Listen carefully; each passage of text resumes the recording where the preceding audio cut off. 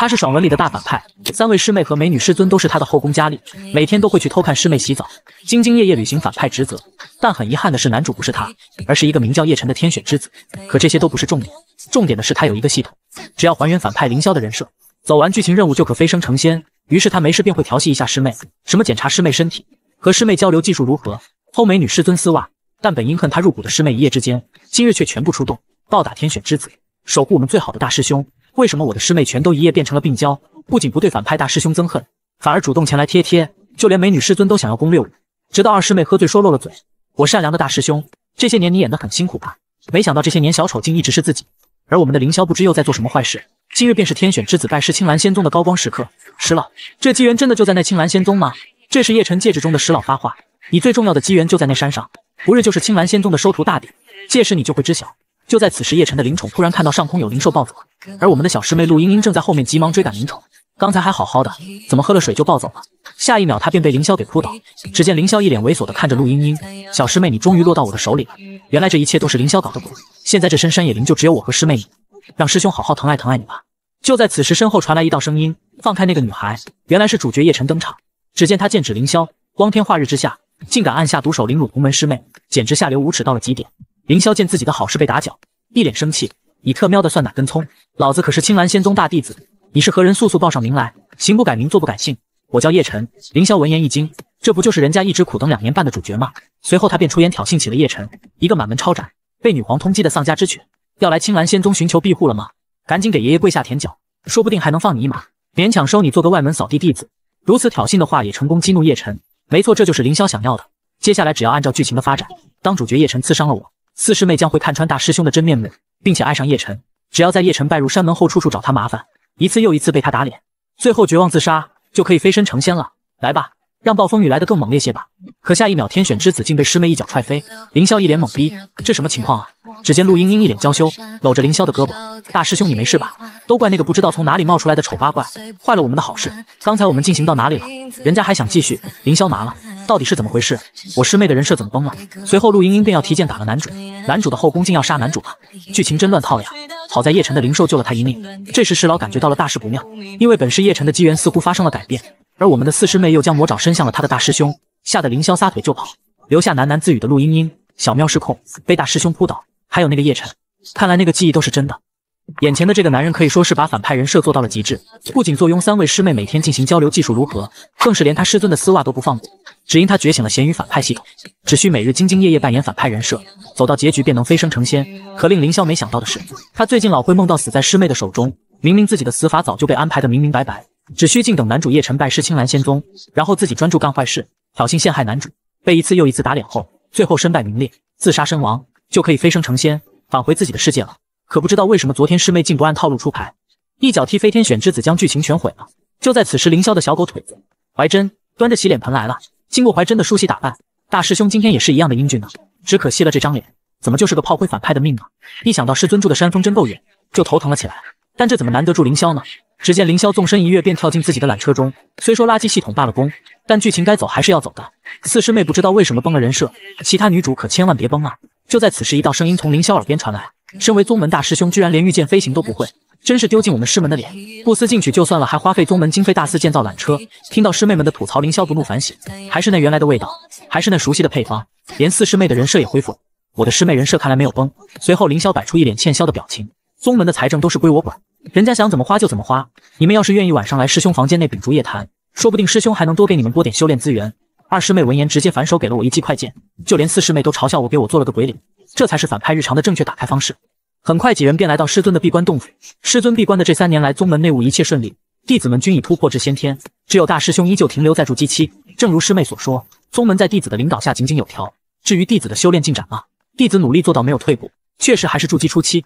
随后，二师妹更是将主角叶晨要来拜师的消息告诉师尊。若是叶晨能够通过考验，拜入神鸾峰，也算补全神鸾峰无堪担大任的男子遗憾。系统也告诉凌霄，目前剧情进展顺利，让他再接再厉。凌霄一脸开森，只要男主叶晨上山带他完成任务，飞升成仙，就可以回家了。可他不知道的是，四师妹两天前居然觉醒天道记忆，在梦境中，大师兄不仅被叶晨暴揍，自己更是爱上了叶晨。即便大师兄让他远离那个男人，可他却在叶晨怀中不为所动。但没想到这个叶晨居然是个渣男，不仅玩弄师姐们的感情，就连宗门都因为他被灭门。他也意识到自己一直都错怪了大师兄。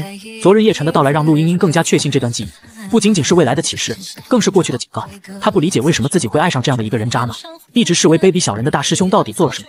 陆茵茵下定决心，一定要调查清楚。还大师兄一个清白。他是宗门里公认的废柴师兄，每日只知道调戏师妹、摸鱼摆烂，但依旧深受无数同门师妹的喜爱。只因他的反派人设早已被师妹们看穿。此时的村民正在教训偷瓜妖兽，而这只妖兽正是主角叶晨的灵宠。这次多亏凌霄所赐的法宝，瓜农们才能将他抓住。我们的大师兄此刻正在瓜田悠闲地喝着下午茶，随后问到旁边的老农：“这瓜保熟吗？”“这肯定保熟啊！”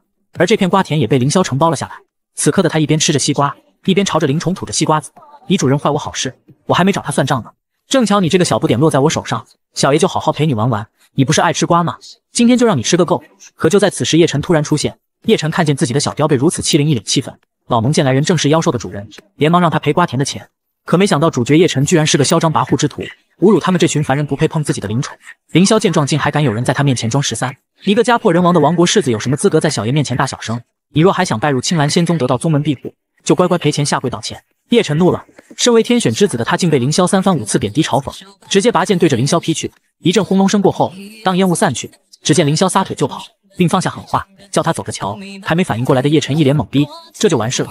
反观被揍的凌霄一脸开森，他没想到进行的竟如此顺利，距离炮灰领便当又近了一步。只是说好的走完结局直接获得最终奖励，怎么在过程中就发放了奖励？叶晨这边，石老责怪他做事太过冲动，如今得罪凌霄，明日拜山考验怕是会被处处针对。但叶晨此人自认不凡，即便沦落民间。也绝不受这些人的羞辱。这时，刚才那名老农看叶晨实力不凡，连忙上前求原谅，可却被一掌击飞。我叶晨这一生放荡不羁，百无禁忌，但是最痛恨别人伤害我的朋友亲人，吓得村民们连忙跪地求饶。随后又假惺惺的解释自己一生行事恩怨分明，从不滥杀无辜。而他所做的这一切都被躲在不远处的四师妹看得清清楚楚。好一个双标的狗男人，只许你的灵宠祸害别人的粮食，却不许人家奋起反抗。想到这里，还是他的大师兄好。刚想去看看那老农的状况，却发现自己的大师兄早已到来。更是送上疗伤丹药当做赔礼。这一刻，陆茵茵是越来越看不懂他的大师兄了。他发誓无论如何都不会让叶晨拜入青蓝仙宗。一个是每日只会喝茶吃瓜的反派大师兄，另一个则是天选之子爽文男主。今日男主叶晨终于拜师青蓝仙宗，大师兄本打算背地里助其一臂之力，让其荣获第一。不料男主叶晨实在头铁，一步之遥的第一名就这么被自己玩脱了。今日就是青蓝仙宗考验拜师之人的试炼之日。二师妹上来就是一顿激情演讲，并奉劝他们，若是连这么简单的考验都做不到，不如趁早打道回府。这时，人群中的叶晨一脸装十三的表示赞同。若是连第一道考验都心生恐惧，就别出来丢人现眼了。众人虽不满叶晨所说，但碍于他的身份天赋，也只好作罢。叶晨这时来到二师妹郭有容面前，在下叶晨，久仰郭师姐大名。看着郭有容的绝世容颜，叶晨不由心动。师老说的果然没错，青蓝仙宗果然是自己的机缘之地。随后便开始寒暄起来。听闻郭师姐在剑术方面造诣很深，在下有些修炼上的小问题，可否指点一二？凌霄见状一脸不爽，你可以送我归西，但绝不能染指我的师妹。叶晨解释自己只是对郭师姐一见如故，想和她交流剑技罢了。凌霄可不惯着他，一个没入门的散修，居然还有脸向我家师妹交流剑技。而叶晨则嘲讽凌霄修为低微，一看就是用了卑鄙手段拜入宗门。怀真则表示大师兄只是隐藏了实力，大师兄可是登仙梯的最高纪录保持者。虽然这最高纪录的由来是个美丽的误会，但今天这十三他是装到了。叶晨则完全不相信面前这个废材竟是纪录保持者，并扬言不管凌霄之前用了什么手段，自己今日定要破了他的记录，狠狠打他的脸。随后郭有荣开始介绍起试炼规则。挑战者不允许使用武器、法宝，需凭借自身灵力登梯，达到金色阶梯前一百者可获得参加收徒大礼资格，或者可继续挑战最高纪录。如果作弊，取消其资格。很快考验便开始了，众人也是一拥而上。有些实力不济者在青色阶梯上都寸步难行。可叶晨这家伙真不愧是天选之子，这点灵压对他来说根本不算什么。他势必要将凌霄的名字踏平，让郭有荣倾心于他。按照剧情发展，反派凌霄应嫉妒叶晨才能故意给他使绊子。然而，身为气运之子的叶晨，靠着自身过硬的实力。不仅破了凌霄的记录，还在石碑上留下自己的手印。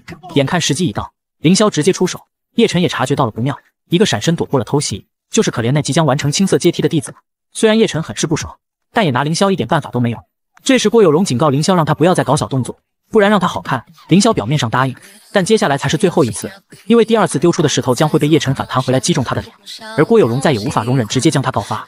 此刻的叶晨一脸得意，凌霄为了分散他的注意力，大喊天上有个美女在他上面飞。当叶晨抬头看去，凌霄再次出手，不料这种小把戏早就被叶晨看穿。可就当凌霄满脸期待他的反击，令他没想到的是，叶晨这家伙竟为了接住石块踩空坠崖了。凌霄麻了，这怎么和剧本里说的不一样啊？而隐藏在人群中的陆茵茵也一直都在注视着这一切。明明是宗门里公认的反派师兄，如今却深受师妹们的喜爱，反而天选之子爽文里的男主却遭到了大家的鄙视，只因我们的主角酷爱给自己加戏，才以至于被二师妹出手教训。为何叶晨会掉下登仙梯？其实这一切都是陆茵茵做的手脚，早就知道接下来剧本的他。提前一天就在登云梯放置了变色龙，为的就是在大师兄最后一次出手时，趁叶晨不备偷偷下手。当然有人欢喜有人愁，但毕竟是天选之子，又有气运加身，怎么可能会止步在这里？只见不要脸的叶晨竟拽人踩背，又开始一路高歌猛进。参赛弟子纷纷不服，他这是违规作弊。叶晨则表示自己又没动用武器法宝，这一切都是靠他自己的灵力走到这里的。三个字，不要脸。郭有荣也判定其没有违规，这也更加令叶晨肆无忌惮起来。人不为己，天诛地灭。拜山名额有限，与其挑别人的刺，不如担心担心自己。而叶晨也成为第一个登上金色阶梯的人。众人见状，开始在登仙梯上扭打起来，争夺前一百的名额。不愧是男主龙傲天，就是这么狂。弱肉强食这一套被他玩得明明白白。怀真小老弟对叶晨这种卑鄙无耻之徒痛恨不已，凌霄则为其开脱起来。登仙梯的阵法没有将他排斥出去，就说明他没有违规。虽然过程有点曲折，但叶晨通过试炼的结果不变就行了。接下来就是他打破自己记录的高光时刻。如今场面混乱，陆茵茵的竹节已无法追上，难道真的无法阻止叶晨这个卑鄙小人了吗？此刻的叶晨一路扶摇直上，而他也终于看到凌霄的名字，他再也掩饰不住内心的喜悦。凌霄，我要把你的名字狠狠地踩在脚下。此刻怀真一脸生无可恋。他不敢相信大师兄的最高纪录就这么被破了，凌霄则长叹了口气，总算是没出什么差错，成功打破纪录的叶晨一脸装十三，可还没等他享受完自己的高光时刻，竟被石块狠狠的击中。此刻的陆茵茵一脸懵逼，人家还没动手呢呀！凌霄则四处寻找起来，又特喵的是哪个小可爱干的？令他没想到的是，对叶晨出手之人竟然是二师妹郭有容。他是宗门中最受欢迎的反派大师兄，就连二师妹这种小野猫都能被他搞定。反观堂堂爽文主角天选之子，竟被当众羞辱。为什么二师妹郭有容突然出手偷袭叶晨了？只因他也觉醒了天道记忆，看到宗门因叶晨而覆灭。果然，像叶晨这种无视纪律的人，从一开始就不该踏入青蓝仙宗。你说对不对啊？大师兄，凌霄麻了。按道理来说，二师妹不是应该帮叶晨的吗？此刻的郭有容也更加确定他觉醒的那段天道记忆是真的，所以他现在绝对不会让叶晨入宗的。而叶晨这边还在苦苦坚持，为了不掉下登仙梯。又想搞小动作，不料竟被人发现，一脚将他踹飞，还想再来，真拿人家当傻子了呀！叶晨内心十分不甘，难道自己这次真的要在这里栽跟头了吗？自己大仇还未得报，机缘还没拿到，明明我才是气运之子，我的人生不该是这样的。而就在此时，他竟漂浮在了空中，原来是石老暗中出手，但这种能力也只剩下最后一次了。石老也是十分懵逼，叶晨可是气运之子，没想到今日竟会如此悲惨。如今的叶晨已经被怒火冲昏了头脑，他让石老再次出手助他一臂之力，无奈的石老也只能被迫答应。郭有荣眼看情况不妙，打算再次出手偷袭叶晨，但被凌霄发现了端倪。这架势是想要干嘛呀？万一主角叶晨失败了，那后面的剧情还怎么搞？叶晨必须通过考验，不管发生什么，小爷都要出手阻止悲剧的发生。下一秒，凌霄竟然一把搂住郭有荣，两个字：牛逼！此刻凌霄一脸生无可恋，这下完蛋了，想都没想就抱上去了。这下该怎么解释呢？难道要说小爷看上你了，做小爷的女人吧？这时，凌霄轻轻在郭有荣耳边说道：“住手吧，师妹，大家都在看呢，人家都在努力考试，他们却撒起了狗粮。”真是杀人诛心啊！郭有荣也是小脸通红，下一秒便给凌霄来了一记过肩摔。即便是被摔在地上，我们的凌霄依旧还是那么温柔。郭师妹，这种事情交给师兄来做就行了。这一刻，郭有荣已经完全沦陷。难道师兄是怕自己的小动作被发现，为了守护人家的名声才这么做的吗？而就在这时，靠着石老帮助的叶晨一路高歌猛进，再一次打破了记录。可惜帅不过三秒。郭有荣看着这一幕，果然如同天道记忆里说的那样，叶晨成功晋级，还打破了大师兄的记录。看来对付叶晨确实没那么容易。凌霄这边则是一脸开森。真不愧是主角，虽然过程有些狼狈，但结果还是可以接受的。只希望收徒大典一切顺利，别再出什么幺蛾子了。可就在此时，狼狈不堪的叶晨竟对凌霄撂下狠话：“凌霄，今日我受到的侮辱，他日必定万倍奉还。”他是将主角狠狠踩在脚下的反派大师兄，就连之前一直讨厌他的二师妹，现在都主动前来投怀送抱。只因觉醒天道记忆的师妹才发现大师兄是那么的可爱。此刻青蓝仙宗大殿内，郭有荣正在通过传音玉牌禀报此次登仙梯考验的情况。此次登仙梯考验共计三百五十六人，通过者一百，此外还有一百余人身受重伤，五十余人在打斗过程中违规淘汰。掌门和众位长老有些不解，为何今年会有这么多人受伤和违规呢？于是郭有荣便将此次事件的始作俑者叶晨说了出来，并吐槽叶晨好斗自负，心术不正。虽然通过了考验，但却不配做青兰宗弟子，并提议将其淘汰。随后众长老便讨论起叶晨的去留，但宗主认为叶晨不仅是第一个通过考验，而且还是打破了通关记录，这种天骄淘汰实在可惜。况且修仙之路本就少不了竞争，有竞争才能刺激进步。这个叶晨就让他参加明天的收徒大典吧，是否有真材实料，明天即可知晓。众长老深知此次宗门收徒大典将是宗门的一次巨大转机，所以也是尤为重视。郭有容此刻陷入了沉思，他知道转机自然指的就是叶晨，但叶晨带来的不是福而是祸。另一边，我们的凌霄正在炼丹房一脸装十三的训斥师妹们，让他们都提起精神炼丹。学海无涯，丹道无垠，吾辈自当上下求索，方可学窥天人。可令凌霄没想到的是，他因还原人设成功，触发暴击奖励，将他的炼丹技能品级提升到了五品。要知道，即使是叶晨这个主角，刷完一个大地图后才达到五品丹道。自己现在就日常装了个逼，就从入门达到了五品丹境。要是再这样下去，他这个渣渣反派好像踹掉叶晨自己当男主，好像也不是不可以。但凌霄现在只想走完剧情，飞升成仙，这男主谁爱当谁当。而凌霄接下来就要去偷走丹药，好为明天比武大会的打脸剧情做准备。接下来就是等待二师妹来揭发他偷毒药的剧情了。果然，郭师妹她来了。师妹啊，你知道每当师兄见到你都会想起一句谚语吗？那就是海纳百川，有容乃大。说完，凌霄便一脸期待二师妹快来骂他。可没想到，一直讨厌他的二师妹今天竟一改常态。大师兄，你真是这样觉得的吗？那小荣与其他两位师妹比如何呢？凌霄麻了，这特喵的不对劲啊！绝对不能让剧情再这样偏离下去。随后便对着二师妹一顿恐吓，并将自己今日来偷偷取丹药的事情泄露给了她。至于是什么丹药，具体干什么用，让他别管。但令凌霄没想到的是，郭有荣不仅知道他要偷的丹药是什么，更是早就将丹药给他备好了。拿到七绝丹的凌霄临走时还不忘提示二师妹，自己要拿着没丹药对付一个他讨厌的人，就差直接将叶晨的名字告诉人家了。自己这么反常的举动，二师妹总该怀疑自己了吧？殊不知郭有荣内心无比激动，大师兄也太可爱了吧！以前人家怎么就没发现呢？多亏了天道记忆，让我知道大师兄的真面目。放心吧，大师兄，这枚七绝丹，人家已经为你动过手脚了，这次绝对不会失败的。一个是宗门中公认的废材反派大师兄，另一个则是新晋主角爽文里的气运之子。可如今本应是人人喊打的反派师兄，反而成为宗门中最受欢迎的对象。反观堂堂天选之子爽文男主，却遭到了师尊和师妹们的无情打击。只因大家都觉醒了天道记忆，今日就连师尊萧红灵都剧透起了剧本。青蓝仙宗有五座主峰，分别名为凤鸣、神鸾、赤云、云荡、龙首，每一座主峰各有一名首座坐镇传道。而神鸾峰的首座正是被东域称为第一美人的萧红灵。萧红灵性格豪放洒脱，嗜酒如命，而且还极度自恋，对宗门之事不闻不问，对外人霸道刚烈。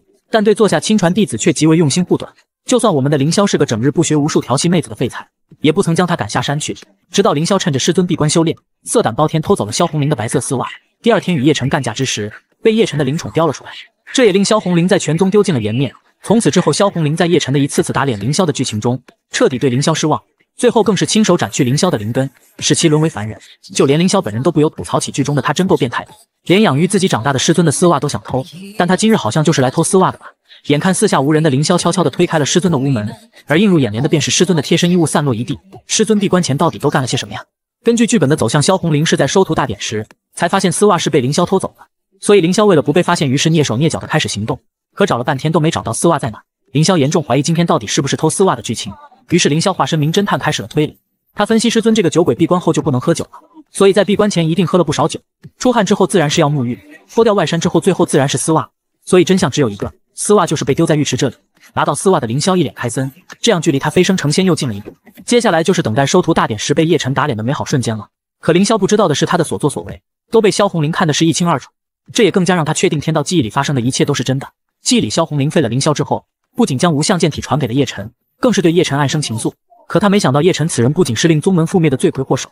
还是一个玩弄感情的渣男，他萧红林不曾想自己居然会对一个男人俯首称臣，还让出了无相剑体，自己真是可笑至极。叶晨，你到底是什么样的存在？萧二，你又在其中扮演了什么样的角色呢？如今萧红林觉醒了天道记忆，他发誓绝对不会再让记忆中的悲剧重演。当天命反派大师兄和堂堂爽文男主碰面会发生什么？面对废柴反派的当众羞辱，我们的气运之子竟然不敢出手，而是选择灰溜溜的逃走。虽说叶晨成功完成登仙梯的试炼并打破了记录，但他这种靠着卑鄙手段通过考验之人，自然成为大家唾弃的对象。而他依旧是那装十三的表情，暗指能站在这里的人没有一个不是把其他人推下去的。这时，我们的大师兄突然出现，当众羞辱叶晨，就是个只会装清高的卑鄙小人。既然你这么厉害，为什么不去魔宗拜师呢？听到凌霄如此折辱自己，叶晨一脸不爽，还说凌霄才是那个真正的卑鄙小人。这时，石老提醒叶晨让他冷静，毕竟这里可是凌霄的地盘。凌霄闻言恶狠狠地看着叶晨，粑粑可以乱吃，但话可不能乱说。指控本首席，你有证据吗？而他俩发生的这一切都被躲在不远处的郭有荣看得一清二楚。果然，按照剧情，这两人在收徒大典前对上了。为了将悲剧扼杀在摇篮里，郭有荣决定，只要叶晨这次有任何违规举动，他就会立刻出手，让他参加不了收徒大典。叶晨眼看情况不妙，于是话题转移，说凌霄是被他破了记录，所以才恼羞成怒，一直在故意针对。可他不知道的是，凌霄早有准备，他已经偷偷记录了叶晨丢脸的全部过程。我宗剑宗上千年来，还是第一次有人以这样的姿态登梯，真是前无古人后无来者呀！这刘影石就送你拿着当传家宝吧。此刻的叶晨已经愤怒到了极点，身为天选之子，当世的绝世天骄，今日竟被一个废柴当众羞辱，真是可恶至极啊！虽说郭有荣很想出手，但一直没找到合适的机会。就在这时，萧红玲也出现，与徒弟一起暗中观察，两边又开始打起了嘴仗。叶晨更是直接放下狠话，若是有胆就来单挑，分个高下。而这一切不就是凌霄想要的吗？于是当即答应叶晨要与其一战。叶晨一脸不爽的看向他，区区一个废物，既然主动找打，那就别怪他不客气。郭有龙顿感不妙，师兄这是自掘坟墓啊！若是挑衅在先还被打败，会被天下之人耻笑的。果然还是打断叶晨的腿吧。此刻的凌霄气焰更盛，催促叶晨赶快对他出手。叶晨这时挠不起来，为何凌霄这厮敢在大庭广众之下如此挑衅呢？一定是想逼自己先出手，到时候再以此为把柄，让自己失去入门资格。凌霄见他还未动手，看样子只能再加把劲了。人家就站在这不动，你都不敢出手，难不成你还等着人家出手指点你们呀？你这卑鄙小人，别以为我看不出来你的奸计。凌霄则是一脸满不在乎的表情，于是继续加大嘲讽力度，而这也逼得叶辰拔剑就要对凌霄出手。可最终叶晨还是选择了放下长剑，随后撂下狠话，灰溜溜的离开了。这时郭有容终于松了口气，若是刚刚那一剑攻向大师兄，后果将不堪设想。而萧红玲也被刚刚凌霄的表现所折服，之前怎么就没发现凌霄这小子这般有胆识气魄呢？若非根骨太差，必然是人中龙凤了！这时系统提示凌霄已经成功完成激怒主角剧情，凌霄人麻了。原本剧情不是丢刘颖石就结束了吗？没想到叶晨竟会突然发难，吓得自己差点被吓尿。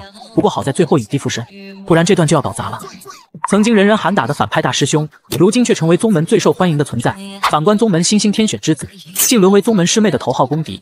只因我的师尊和师妹觉醒了天道记忆，一夜之间全部成为了病娇。今日就连冷面四师妹都差点灭掉天选之子。为了能够逼叶晨出手，凌霄更是变本加厉，直接脚踩天选之子，真是将反派人设做到了极致啊！突然一道音波攻击向他袭来，凌霄见状赶忙后撤。原来是四师妹楚幼薇出手。并指责起凌霄欺人太甚，毕竟叶晨早晚都要入宗，身为大师兄却如此欺辱同门。凌霄想到小说里的冷面师妹楚幼薇对叶晨的专宠可是独一份的，这次他肯定能顺利走完剧情任务。随后便躲到不远处观察起来，就是没想到他们为何会这么快就遇上？难道是剧情快进了？叶晨这个渣男内心开心的一批，青蓝仙宗果真是盛产美人的桃源之地，自己随便走走就能遇见这般绝色美人，更是夸赞有楚师姐为自己奏乐，他的剑一定能更上一层楼。看到这一幕，凌霄就放心了，接下来他就只需要等叶晨开始修炼。到时候果断来个偷袭，将他美美的胖揍一顿，那么今天的任务就圆满达成了。可还没等凌霄做好准备出手，叶晨这边就突然口吐鲜血，身受重伤。原来是楚幼薇的琴声里藏了杀机，听久了就会伤及五脏六腑。这时四师妹冰冷的说道：“没人敢打扰她练琴。”本想试试叶晨的深浅，不料竟是个饭囊衣架。虽然叶晨很是恼火，但还是无奈道歉。反观之前救下他的四师妹，却变了一副样子，也开始对叶晨嘲讽起来。一旁的凌霄人直接傻，男女主怎么突然就打起来了？再这样下去之后的故事还怎么演？想到这里，凌霄决定为叶晨找回场子。还以为是谁在欺负楚师妹呢，原来是你这无胆鼠辈！之前不敢和人家比试过招，欺负起女人倒是得心应手了。看到凌霄出现，叶晨直接暴怒，猜测刚才发生的一切肯定都是凌霄胁迫妹子对他下手，如此下作简直无耻至极。凌霄则表示那又怎样？明明是你打扰师妹练琴在先，人家可是纯粹的在惩奸除恶。面对处处找他麻烦的凌霄，而且这次还有妹子在场，他实在是忍无可忍了，打算出手好好教训一下凌霄，顺便找回场子。凌霄本以为终于能够得偿所愿，被当众打脸，可下一秒他俩便被楚幼薇的音波全部干翻在地。凌霄直接麻了，剧情怎么又走歪了呢？这也让叶晨认定他俩就是一伙的，直接撒腿就跑。虽然剧情跑偏了，但好在任务成功完成。为了避免节外生枝，凌霄也紧随其后。看到大师兄走后，楚幼薇彻底绷不住了。他不晓得事情为什么会变成这样子的，自己只是想为大师兄出出气，怎么反而把大师兄打伤了？都怪这个死叶晨非要凑得那么近，不然也不会误伤了大师兄。楚幼薇想到前几日觉醒的天道记忆里，叶晨会在他出现时重伤大师兄，如今大师兄被自己重伤，而且叶晨也没讨到什么好处，这样看来结局似乎已经偏离了。只要不顺着天道发展，那就算成功。但为了以防万一，接下来依旧不能掉以轻心。表面上风度翩翩的天选之子，背地里竟是个道貌岸然的伪君子。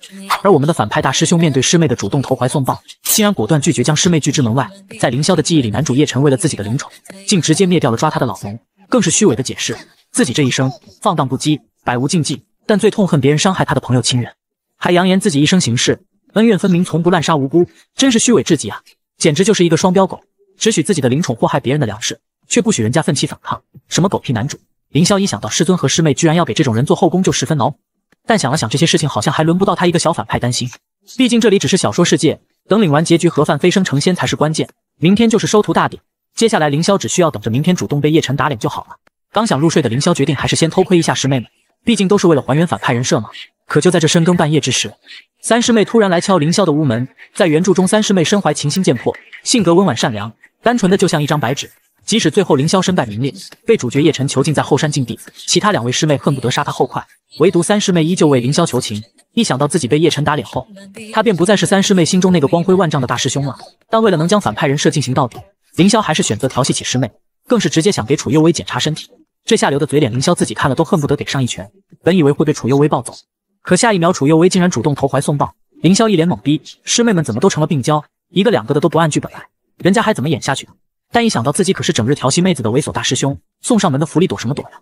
虽然师妹的人设崩了，但自己的反派人设可不能崩啊！凌霄刚想下手，却被三师妹不小心打脸，凌霄麻了。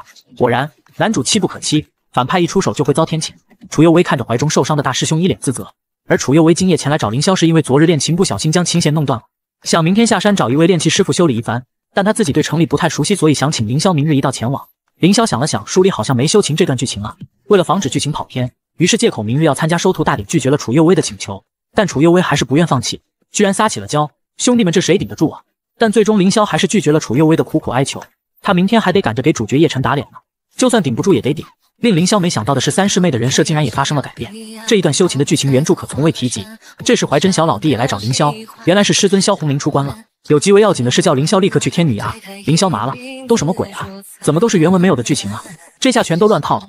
不管了，得去了才知道到底发生了什么。躲在不远处的楚幽微内心早已爱上了大师兄，原以为这把琴才是自己生命中最重要的东西，直到某一天觉醒天道记忆的那一刻，真正对自己好的只有大师兄。楚幽微今夜本想带着凌霄远走高飞，逃离这个是非之地。既然逃跑不成，那就必须先下手为强，绝对不能让大师兄明日被叶晨搞得身败名裂。保护大师兄的任务就交给我。两百岁的冷艳师尊竟也有如此娇羞的一面，一心只想被男主打脸的反派大师兄，最近却总被师妹们盯上，主动投怀送抱。今夜就连冷艳师尊都向他撒起了娇。当凌霄来到神峦之巅的天女崖，却发现师尊房间异常安静，总感觉是暴风雨前的宁静。三更半夜召见他，难道是上次装女生混进去洗澡的事情被发现了？一想到这里，凌霄直接冷汗直流。这时喝醉的萧红林唤凌霄赶紧进来。凌霄感觉师尊的心情好像很不错的样子，看来自己偷丝袜和混进去洗澡的事情应该没有败露。当凌霄刚一推开屋门，萧红林便小手一勾，师尊可是有一阵子没看到你了，快过来让师尊好好瞧瞧。随后凌霄便被直接拽进了屋中。这特喵的难道是酒鬼发酒疯了？面对如此波涛汹涌的师尊，这谁顶得住啊？要不是明天人家将被叶晨打脸，今晚我们的师徒情谊就要破裂了。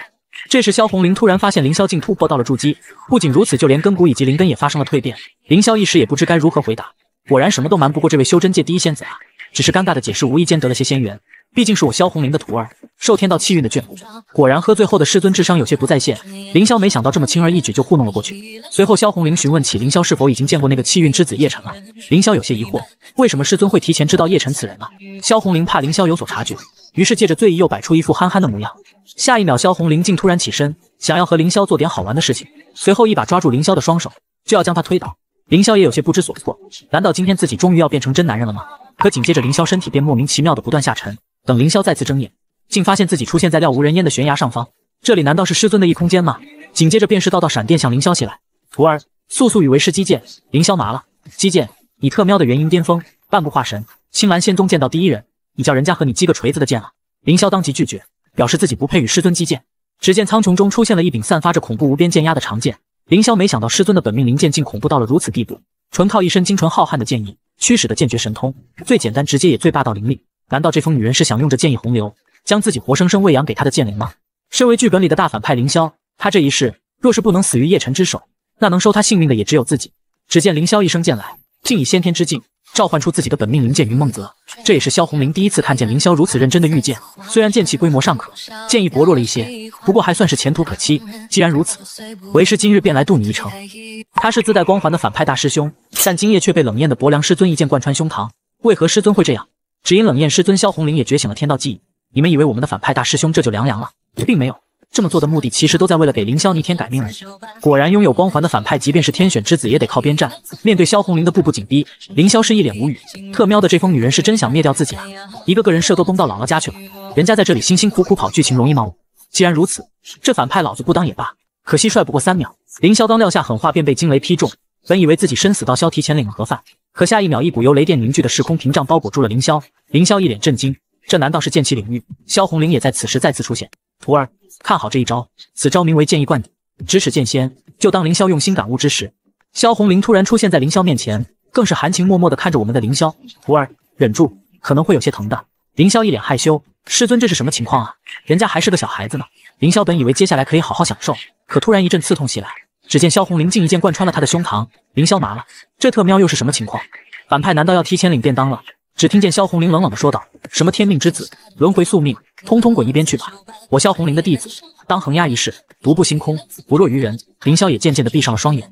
与此同时，在山下修炼的叶晨却被石老告知，大事不妙，本该属于叶晨的机缘，如今却不知为何消失了大半。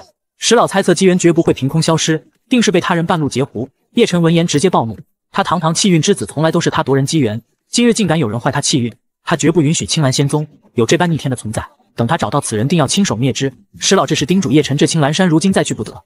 从他昨日踏入这里开始，天机就在慢慢发生改变。本是仙源之地，现在看来怕是龙潭虎穴。叶晨还是那一脸装十三的表情。石老，你是知道我的，人不犯我，我不犯人。人若犯我，我必诛之。昨日之辱，本世子必是被讨还。明日一早杀上青兰仙宗，一雪前耻。可叶晨不知道的是，三名病娇师妹早就盯上了他，而他们此次前来，就是要亲手灭掉叶晨，让这一世的悲剧不再重演。天选之子为何会成为师尊和师妹们的死敌呢？只因前世他不仅欺骗师妹们的感情，更是将魔门引来攻打青兰仙宗。道貌岸然的他，眼睁睁的看着宗门被屠戮殆尽。也就是在这最后一刻，几人才真正意识到，大师兄之前为何处处针对叶晨。上一世的记忆中，魔门为缉拿叶晨进攻青兰仙宗，青兰仙宗为守护宗门与魔门大战三天三夜，最终掌教和众多长老弟子全部牺牲。现在就只剩下萧红林和他的这三名弟子了。看着覆灭的宗门，陆茵茵无助的询问，为何叶晨还不来救他们？几位师妹们坚信叶晨一定会回来解救大家的，只有萧红玲早已看穿了这一切。叶晨去了中州南域游历，现在估计正与南诏国的圣女谈情说爱呢。二师妹还是不愿相信，明明魔门天灾是他引来的，他却抛弃了大家。萧红玲这时霸气的说道：“即便青兰仙宗只剩下我们四人，我们也要死战到底。”牛头怪则表示自己要一挑四。就在这千钧一发之际，牛头怪身后传来一声怒喝：“住手！”而来人正是叶晨和凤鸣峰的祝师姐。只见两人双剑合璧，开启护山大阵，将魔门之人全部抹杀。叶晨缓缓走向陆英英面前：“师姐，人家来晚了，幸亏你们没事。”看着尸横遍野的同门，陆英英再也忍不住了，她质问起叶晨：“事到如今，你就只有这句话吗？”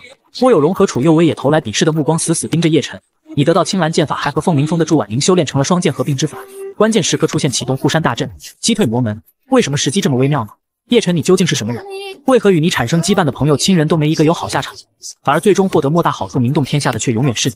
可叶晨还依旧在极力的狡辩着，而萧红玲早已看穿了他虚伪的嘴脸，拔剑就要斩灭这欺师灭祖之徒。可拥有天道庇护的天选之子，岂会是那么容易解决的？萧红玲也不幸被天道降下的惊雷劈成重伤，而叶晨这时终于暴露出他本来的面目。师尊，我叶晨乃天道庇佑的天选之子，就凭你也配与我为敌？如今我的妹妹叶轩儿已经率领八十万北川精骑来到青兰山下，只等我一声令下，便可将魔门一网打尽。现在回到我的身边，我们一起为青兰报仇雪恨吧。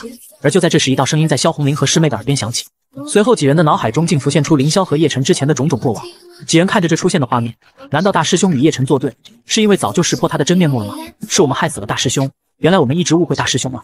最终这些记忆融合在了一起，把你们的记忆交给我们，由我带给过去的你们，能不能扭转命运，就看这一次了。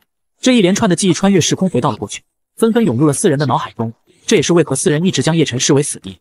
他们发誓这一世绝对不会再让悲剧发生，杀叶晨，保护大师兄。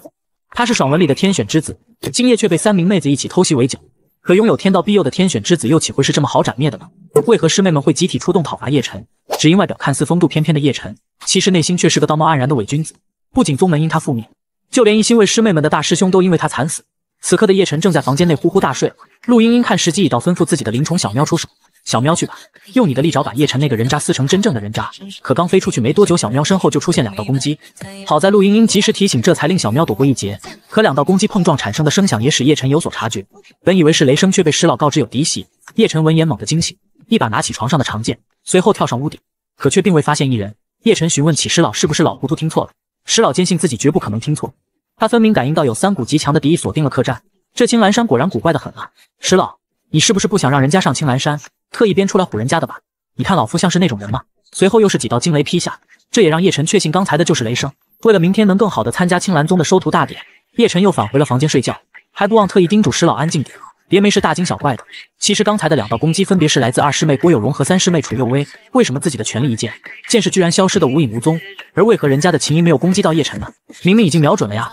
二人决定再试一次。刚回到房间的叶晨正打算躺下，却又被石老提醒小心身后。可等叶晨回头，却什么都没有，有的也只是道道惊雷。叶晨一脸不爽，这老家伙又来这一套。石老，你可听说过狼来了的故事。石老解释自己刚刚明明看见了，若老夫说谎，天打五雷轰。话音刚落，便是五道惊雷回应：石老，饭可以乱吃，话可不能乱说。你现在都是一缕幽魂了，再被天雷劈了，怕是要魂飞魄散。行了，睡觉吧。师妹们麻了。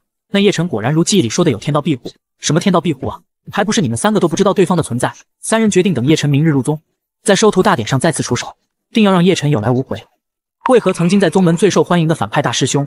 如今却沦为了阶下囚，就连师妹都无情的送上匕首，让其自绝于此，被同门羞辱，被师尊师妹们嫌弃。这次他终于累了，选择结束这一切，而这一切都要从天选之子叶晨拜师青兰宗说起。在凌霄与上山拜师的叶晨发生冲突后，叶晨竟从凌霄身上搜到他偷拿的师尊丝袜，而这也令凌霄受尽宗门的羞辱。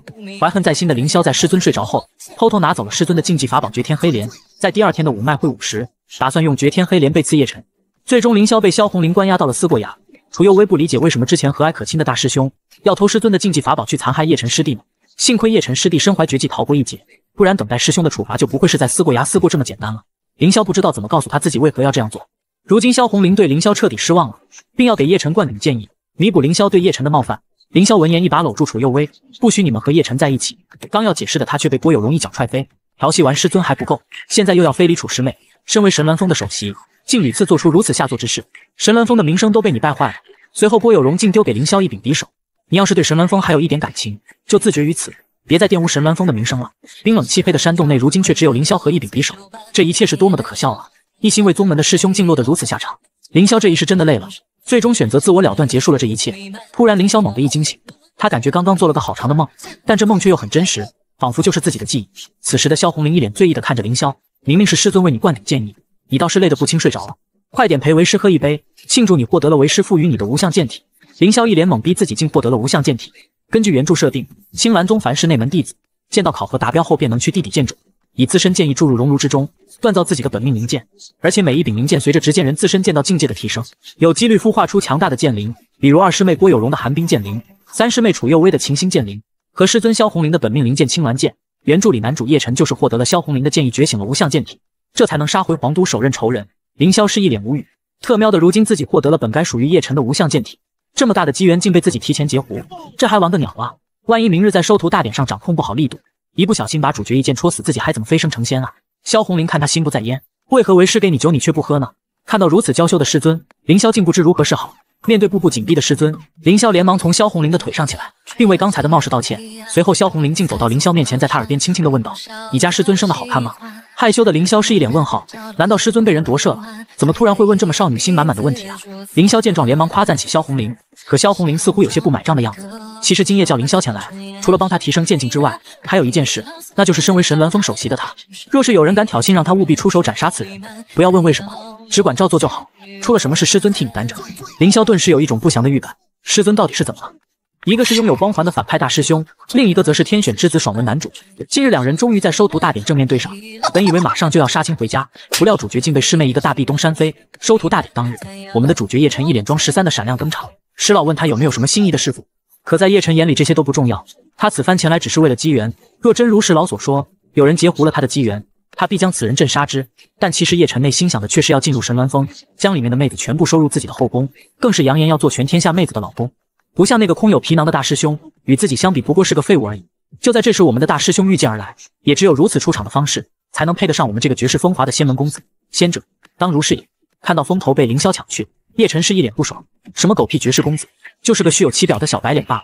话音未落，凌霄便来到主角叶晨面前。叶晨见状，看来被认出来，打算先下手为强，但却被石老制止。毕竟此人是青兰宗首席弟子，现在还不能得罪。而且众目睽睽之下，他也不会对你怎么样。凌霄这边确认过眼神后，直接开喷：“你特喵的不长眼的臭小子！昨晚老子不是警告过你了吗？还敢开？真是活得不耐烦了是吧？我凌霄是什么人？不用我自己说了吧？跟老子对着干，你有这个实力吗？身为天选之子，今日竟被一个废物如此羞辱，到底谁才是真正的主角呀？”凌霄见第一波嘲讽成功，马上开始了第二波。忍无可忍的叶晨拔剑就要开干，这时周围有人认出了叶晨，如此年轻便达到宗师境界，难怪此人这般不卑不亢啊！凌霄眼看剧情发展顺利，一脸开森。接下来便是等待那个女人的出现，帮助叶晨完成第一波打脸。突然一声怒喝打断了两人，而来人正是凌霄等候多时的二师妹郭有容。看着叶晨这猥琐的表情，凌霄两眼冒光，看来剧情都回来了。这时叶晨收起长剑，虚伪的走到二师妹面前，在下叶晨见过师姐，可回应他的却是师妹的一个大壁咚。这番反向操作，众人是完全被吓了一跳。只见二师妹一脸嫌弃的看着被打成猪头的叶晨：“你什么身份也配和大师兄这么说话？”可当他看向凌霄，却又换了一副呆萌的模样。抱歉，大师兄让你受惊了。这等凡俗莽夫竟敢对你无礼，实在该打。凌霄麻了，完了，剧情又崩了。我们的反派大师兄有多牛批，就连天选之子的老相好都主动对他投怀送抱，更是祭出自己的本命灵剑为他这个反派找回场子。就在主角叶晨被二师妹一个大臂东山飞后，恼羞成怒的他竟将这一切都甩锅到石老头上。这特喵的就是你口中所说的机缘之地，今日你最好给老子个解释，不然就摘了你这个破戒指。石老解释是这青兰宗出现了能影响天道运势之人，趁现在没被发现，还是赶紧闪人吧。兄弟别怂，别听着老王八念经，我可是来给你送经验的呀。你要是不知冷起来，我这个反派要失望了呀。忍无可忍的叶晨不再隐忍，他告诉石老：“天不眷我，我便逆天。我不仅要斩了那个夺我机缘的小贼，更是要征服神鸾峰上所有的女人。”凌霄见状一脸开森：“好兄弟，人家果然没看错你，快点来打人家吧！”二师妹眼看情况不妙，打算出手，却被凌霄反手拦下：“师妹，难道你不相信大师兄吗？”郭有容看着大师兄的背影，按照天道记忆，等会儿那个叶晨的妖兽就会揭穿大师兄偷拿师尊的丝袜，被大家误会成变态。为了维护大师兄的尊严，郭有容连忙拉住凌霄，还是由人家出手教训这个不知天高地厚的小子吧。这时天空上方再次传来一声怒喝，来人正是青兰宗唯一的寡妇，在原著里苏妹可是主角叶晨前期后宫之中最大的靠山，关键时刻还是外援靠谱啊。当苏妹出现在大家的面前，就连我这反派都差点要把持不了，这火辣妖娆的身材简直是太哇塞了。随后凌霄猛地吸了一口气，就连空气都特喵的是香香的。但眼下几位师妹师尊人设崩坏，只能将希望寄托在这位苏寡妇上了。看来是时候用上我反派搭讪三件套。第一套观望，第二套比心，第三套开撩。苏师伯，好久不见，您愈发的光彩照人了。我手中这朵美丽的花朵献给您最合适不过。说完，凌霄便一脸贱贱的等着被打脸。谁知苏师伯却不按套路出牌，一个箭步直接扑进凌霄的怀中，差点压得凌霄喘不过气来。苏妹一脸娇羞的小脸看的凌霄是一脸懵逼。当他看向我们的男主时，凌霄还以为这次稳了，谁知下一秒苏妹竟直接祭出自己的本命灵剑，要为凌霄这个反派找回场子。凌霄直接麻了，为什么你们都喜欢不按套路出牌啊？天选之子竟差点交代在自己手上，明明知道是毒丹，居然还特喵的一口吞下。原来在怀真交给他丹药时，他便发现了这丹药有些不对劲。这点雕虫小技岂能骗得过本世子？这特喵的一脸欠揍的表情，差点就要把我是幕后黑手四个大字挂在脸上。就这城府还想加害本世子？石老提议，正好青蓝山的主事人都在，拿着这枚丹药揭发那小子的阴谋。可叶晨此人极为自负，打算将计就计，还在处于懵逼的石老刚要阻止，谁知这脑残男主竟将毒丹一口吞了。没错，本世子今日便要以苦肉计让这仙棍付出代价。等着吧，凌霄，看老子不玩死你！谁知下一秒，一阵臭气便熏得周围人苦不堪言。谁特喵的当街放屁？此时的丹毒也正在慢慢发作。叶晨见毒药起效，打算用紫霞丹道压制丹毒，再向首座告状。谁知二师妹改良版的毒丹，特喵的根本压制不住啊！紧接着，噗的一声，七窍流血，当场射死。石老见状，赶忙开口：“早说这丹药有问题了，我都让你先等一下了，就是不听。”气急败坏的叶晨将这一切都甩锅给石老。这傻逼戒指不要也罢。二师妹正在不远处幸灾乐祸，看着叶晨悲惨的模样。大师兄，咱们成功了，以后再也不用担心被这家伙害了。差点被自己玩死的叶晨也在此刻意识到，要是再不解毒，自己今天怕是真的会交代在这。于是他用尽最后一丝力气朝着戒指爬去。重新戴上戒指的他连忙跪求石老帮帮自己。刚才都是他太冲动。石老念他悔过，也不再和他过多计较，传授了他一套冰心化毒诀，消解了七绝丹的毒。不得不说，叶晨不愧是气运之子。即便如此对待石老，石老还依旧对他不离不弃。石老见气氛烘托到位。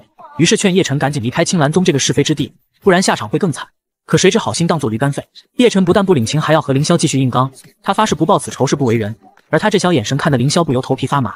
虽然不理解他为何用这种眼神看人家，但他看起来好难受。他没事吧？好在没挂掉，不然接下来的剧情没法走了。不愧是拥有主角光环的男人，就是命硬。凌霄没想到女主角人设出问题也就算了，现在就连七绝丹这种特殊道具也能出幺蛾子，看来是时候来点猛药了。于是凌霄拿出从师尊那里偷来的丝袜。打算给自己来个社死现场，直接把他这个反派送走。很快便轮到叶晨上台测验体质。只见解完毒的叶晨容光焕发，那嚣张的表情恨不得一个打八个。台下众人都投来仰望的目光，就连长老都觉得叶晨此子天赋异禀，是个好苗子。而测验体质最好的方法就是决斗。当得知自己对手是个练气期的废柴，叶晨一脸不屑，就这对手他一招就能解决。这时胖子道长问他想要如何测试，只见叶晨一脸嚣张的指着凌霄：“我要挑战神鸾峰首席大弟子凌霄，十招之内既决胜负也决生死。若是不能将他碾压，我磕头认输。”温柔善良的三师妹竟要为我这个反派师兄找回场子，但女人特喵的只会影响我走剧情的速度。原来主角在收徒大典上。指明要挑战凌霄这个神鸾峰首席大弟子，更是扬言十招之内不打的凌霄哭爹喊娘，他就当场下跪。凌霄闻言随即摆出一副反派嘴脸，鄙视他就是个丧家之犬。其实内心早已乐开了花，终于可以上场被打脸回归正常了。可就在裁判宣布对战开始的时候，一声大喝打断了对战。等等，你不配跟我大师兄打，我来做你的对手。此刻的凌霄想死的心都有了。二师妹刚教训完，现在三师妹又来搞事情。而观战台上的长老们一眼就看出来，三师妹这是要为我找回场子啊！胖子道长见状，感觉大事不妙，这叶辰怎么莫名其妙跟两位神鸾峰弟子结了仇怨？就在他打算出手干预时，却被旁边的苏寡妇出言阻止。而擂台上，凌霄为了这场战斗，不知等了多久，他连忙劝解三师妹退下，这是属于男人之间的决斗。可当他握住三师妹的手掌时，一脸诧异：师妹的手怎么这么烫？当看到师妹手掌上密密麻麻的伤口，凌霄这才反应过来。师妹竟强行修炼了天音琴剑诀第七卷噬心魔琴。要知道，第七卷的噬心魔琴以半圣魔道、仙魔交融之下，虽有着毁天灭地的惊世魔能，但对自身也有着极大的伤害。原著中叶晨被大周女帝包围在地窟里，三师妹都没使出这招。凌霄一脸诧异，询问三师妹为何要修炼这魔功时，三师妹的回答有些让我无地自容。只因变得足够强大，才能保护大师兄你啊！你清醒一点好吗？人家只是个反派，要保护也是保护我们的男主啊！在三师妹觉醒天道记忆的那刻起，他就在心里暗自发誓，为了大师兄做什么都是值得的。他这次绝对不会让大师兄一个人默默背负所有骂名，也只有你试图反抗叶晨这个灾星。在我心里，大师兄，我知道你才是真正的孤勇者。师妹啊，反剧情的孤勇者是你啊！师兄，求你别在这里发癫了。就在凌霄再次劝解师妹时，一股至强剑意席卷全场，而来人正是凌霄的师尊神鸾峰首座东域第一美人萧红玲。幼薇还不快退下！我神鸾峰的大弟子岂会怕这凡夫俗子？师尊放心，此人胆敢以生死战挑衅于我，徒儿必弹指灭杀之以报师恩。不料这时系统突然跳了出来。因还原反派人设获得修为提升百分之四十，特喵的狗系统是生怕人家打不死叶辰吗？就连师尊也不忘叮嘱他记住昨晚对他说的话，找机会杀了叶晨。要是打了叶晨，为师今晚还给你准备了一份意想不到的奖励。很快，天选之子和天命反派的生死对战正式开始。四位长老对此战都有自己的独到见解，唯独师尊对凌霄信心满满。我萧红林的徒儿，自当横贯无敌，击压全场。而擂台上的叶晨正不断的出言挑衅，更是猥琐的表示，等嘎了凌霄之后，他就会想方设法加入神鸾峰，代替他好好照顾师尊和师妹。这无耻的嘴脸，整的凌霄都不知道到底谁才是反派。嘲讽技能谁不会？你特喵的也配挑衅我神鸾峰？今天看小爷我不把你的坤坤嘎了，让你死无全尸！说完，凌霄便直接拔剑朝叶晨刺去。萧红林一脸黑线。好你个臭小子！为师昨晚辛苦为你灌顶，建议你去划水。观战的长老也觉得凌霄这么做简直就是在作死。叶晨见状更是信心满满，花里胡哨不堪一击，看本世子一剑了结了你。到时候看你有什么脸面自称神鸾峰大弟子。其实只有凌霄心里明白，他这一剑看似华丽，但实际上只用了一成不到的剑意。身为主角的叶晨不可能接不住这一剑。可就在这时，系统又突然蹦了出来，再次给凌霄发来奖励：触发剑诀神通，神剑御雷真诀。特喵的爷才不要这个奖励！主角你不要不来啊！天选之子竟向反派当众下跪道歉。原来刚刚凌霄打算装装样子，一剑刺向男主，不料却意外触发系统任务，直接在其剑上叠加了神剑御雷诀。此刻的凌霄慌得要死，怕这一剑直接将主角带走。大家也被凌霄这惊天一剑震惊不已。然而知道剧情的苏寡妇却觉得此事不同寻常。明明是废材的凌霄，一夜之间见到天资竟如此绝俗，除非有人试图改变这一切因果，强行给他灌顶功力。当他看向萧红林，他仿佛明白了什么。师尊这边则是一副小鸟依人的模样。宝贝徒儿，这便是你用无相剑体自创的第一个剑诀吗？当烟雾散去后，我们的天选之子依旧屹立不动。幸亏老子在关键时刻收住了力，不然男主就特喵的当场嗝屁了。不愧是男主，关键时刻总能化险为夷。就在凌霄准备承受叶晨的怒火时，下一秒，啪的一声，天选之子竟当众跪下向我们的反派师兄道歉。他愿遵守诺言，向贵派道歉，为求台上诸位首座救救自己。本来热闹的比赛场瞬间鸦雀无声，也好不容易将剑法威能降到三成，你这个软蛋居然投降。这时台上的长老出手。只见他随手一挥，消除了男主身上的恐惧。既然叶晨认输，那便点到为止吧。此刻的叶晨内心害怕到了极点。当他看到凌霄那一剑之威，他深知自己无法接下第二剑。凌霄这边是一脸无语，难道称霸九天十界的叶神王就这个屌样？但很快他就发现了凌霄身旁的九幽紫炎雕。原著中叶晨在碾压凌霄之后，就是这畜生突然出现，叼出凌霄藏在怀中的丝袜。他的出现，这说明剧情还有救。我摊牌了，我就是偷师尊丝袜的那个变态。可噗呲一声，叶晨的小雕竟被人一剑打伤，差点领了盒饭。凌霄转头骂骂咧咧看去。我到底要看看是谁敢坏老子的好事！但令他意想不到的是，出手之人正是自己的师尊。胜负已分，居然还想指使妖兽偷袭我的徒儿，真是卑鄙无耻！此话一出，叶晨差点没被宗门弟子的唾沫星子淹死。为何师尊也不按剧本出牌，还当众向我抛媚眼？狗系统特喵的，赶紧给老子滚出来！几个女主毫无职业道德，不看剧本就算了，现在连男主都是这个傻样，这剧情你让我一个反派怎么圆啊？这反派老子不当也罢。这时系统突然发来提示，检测到宿主心境跌落，任务随时可能失败。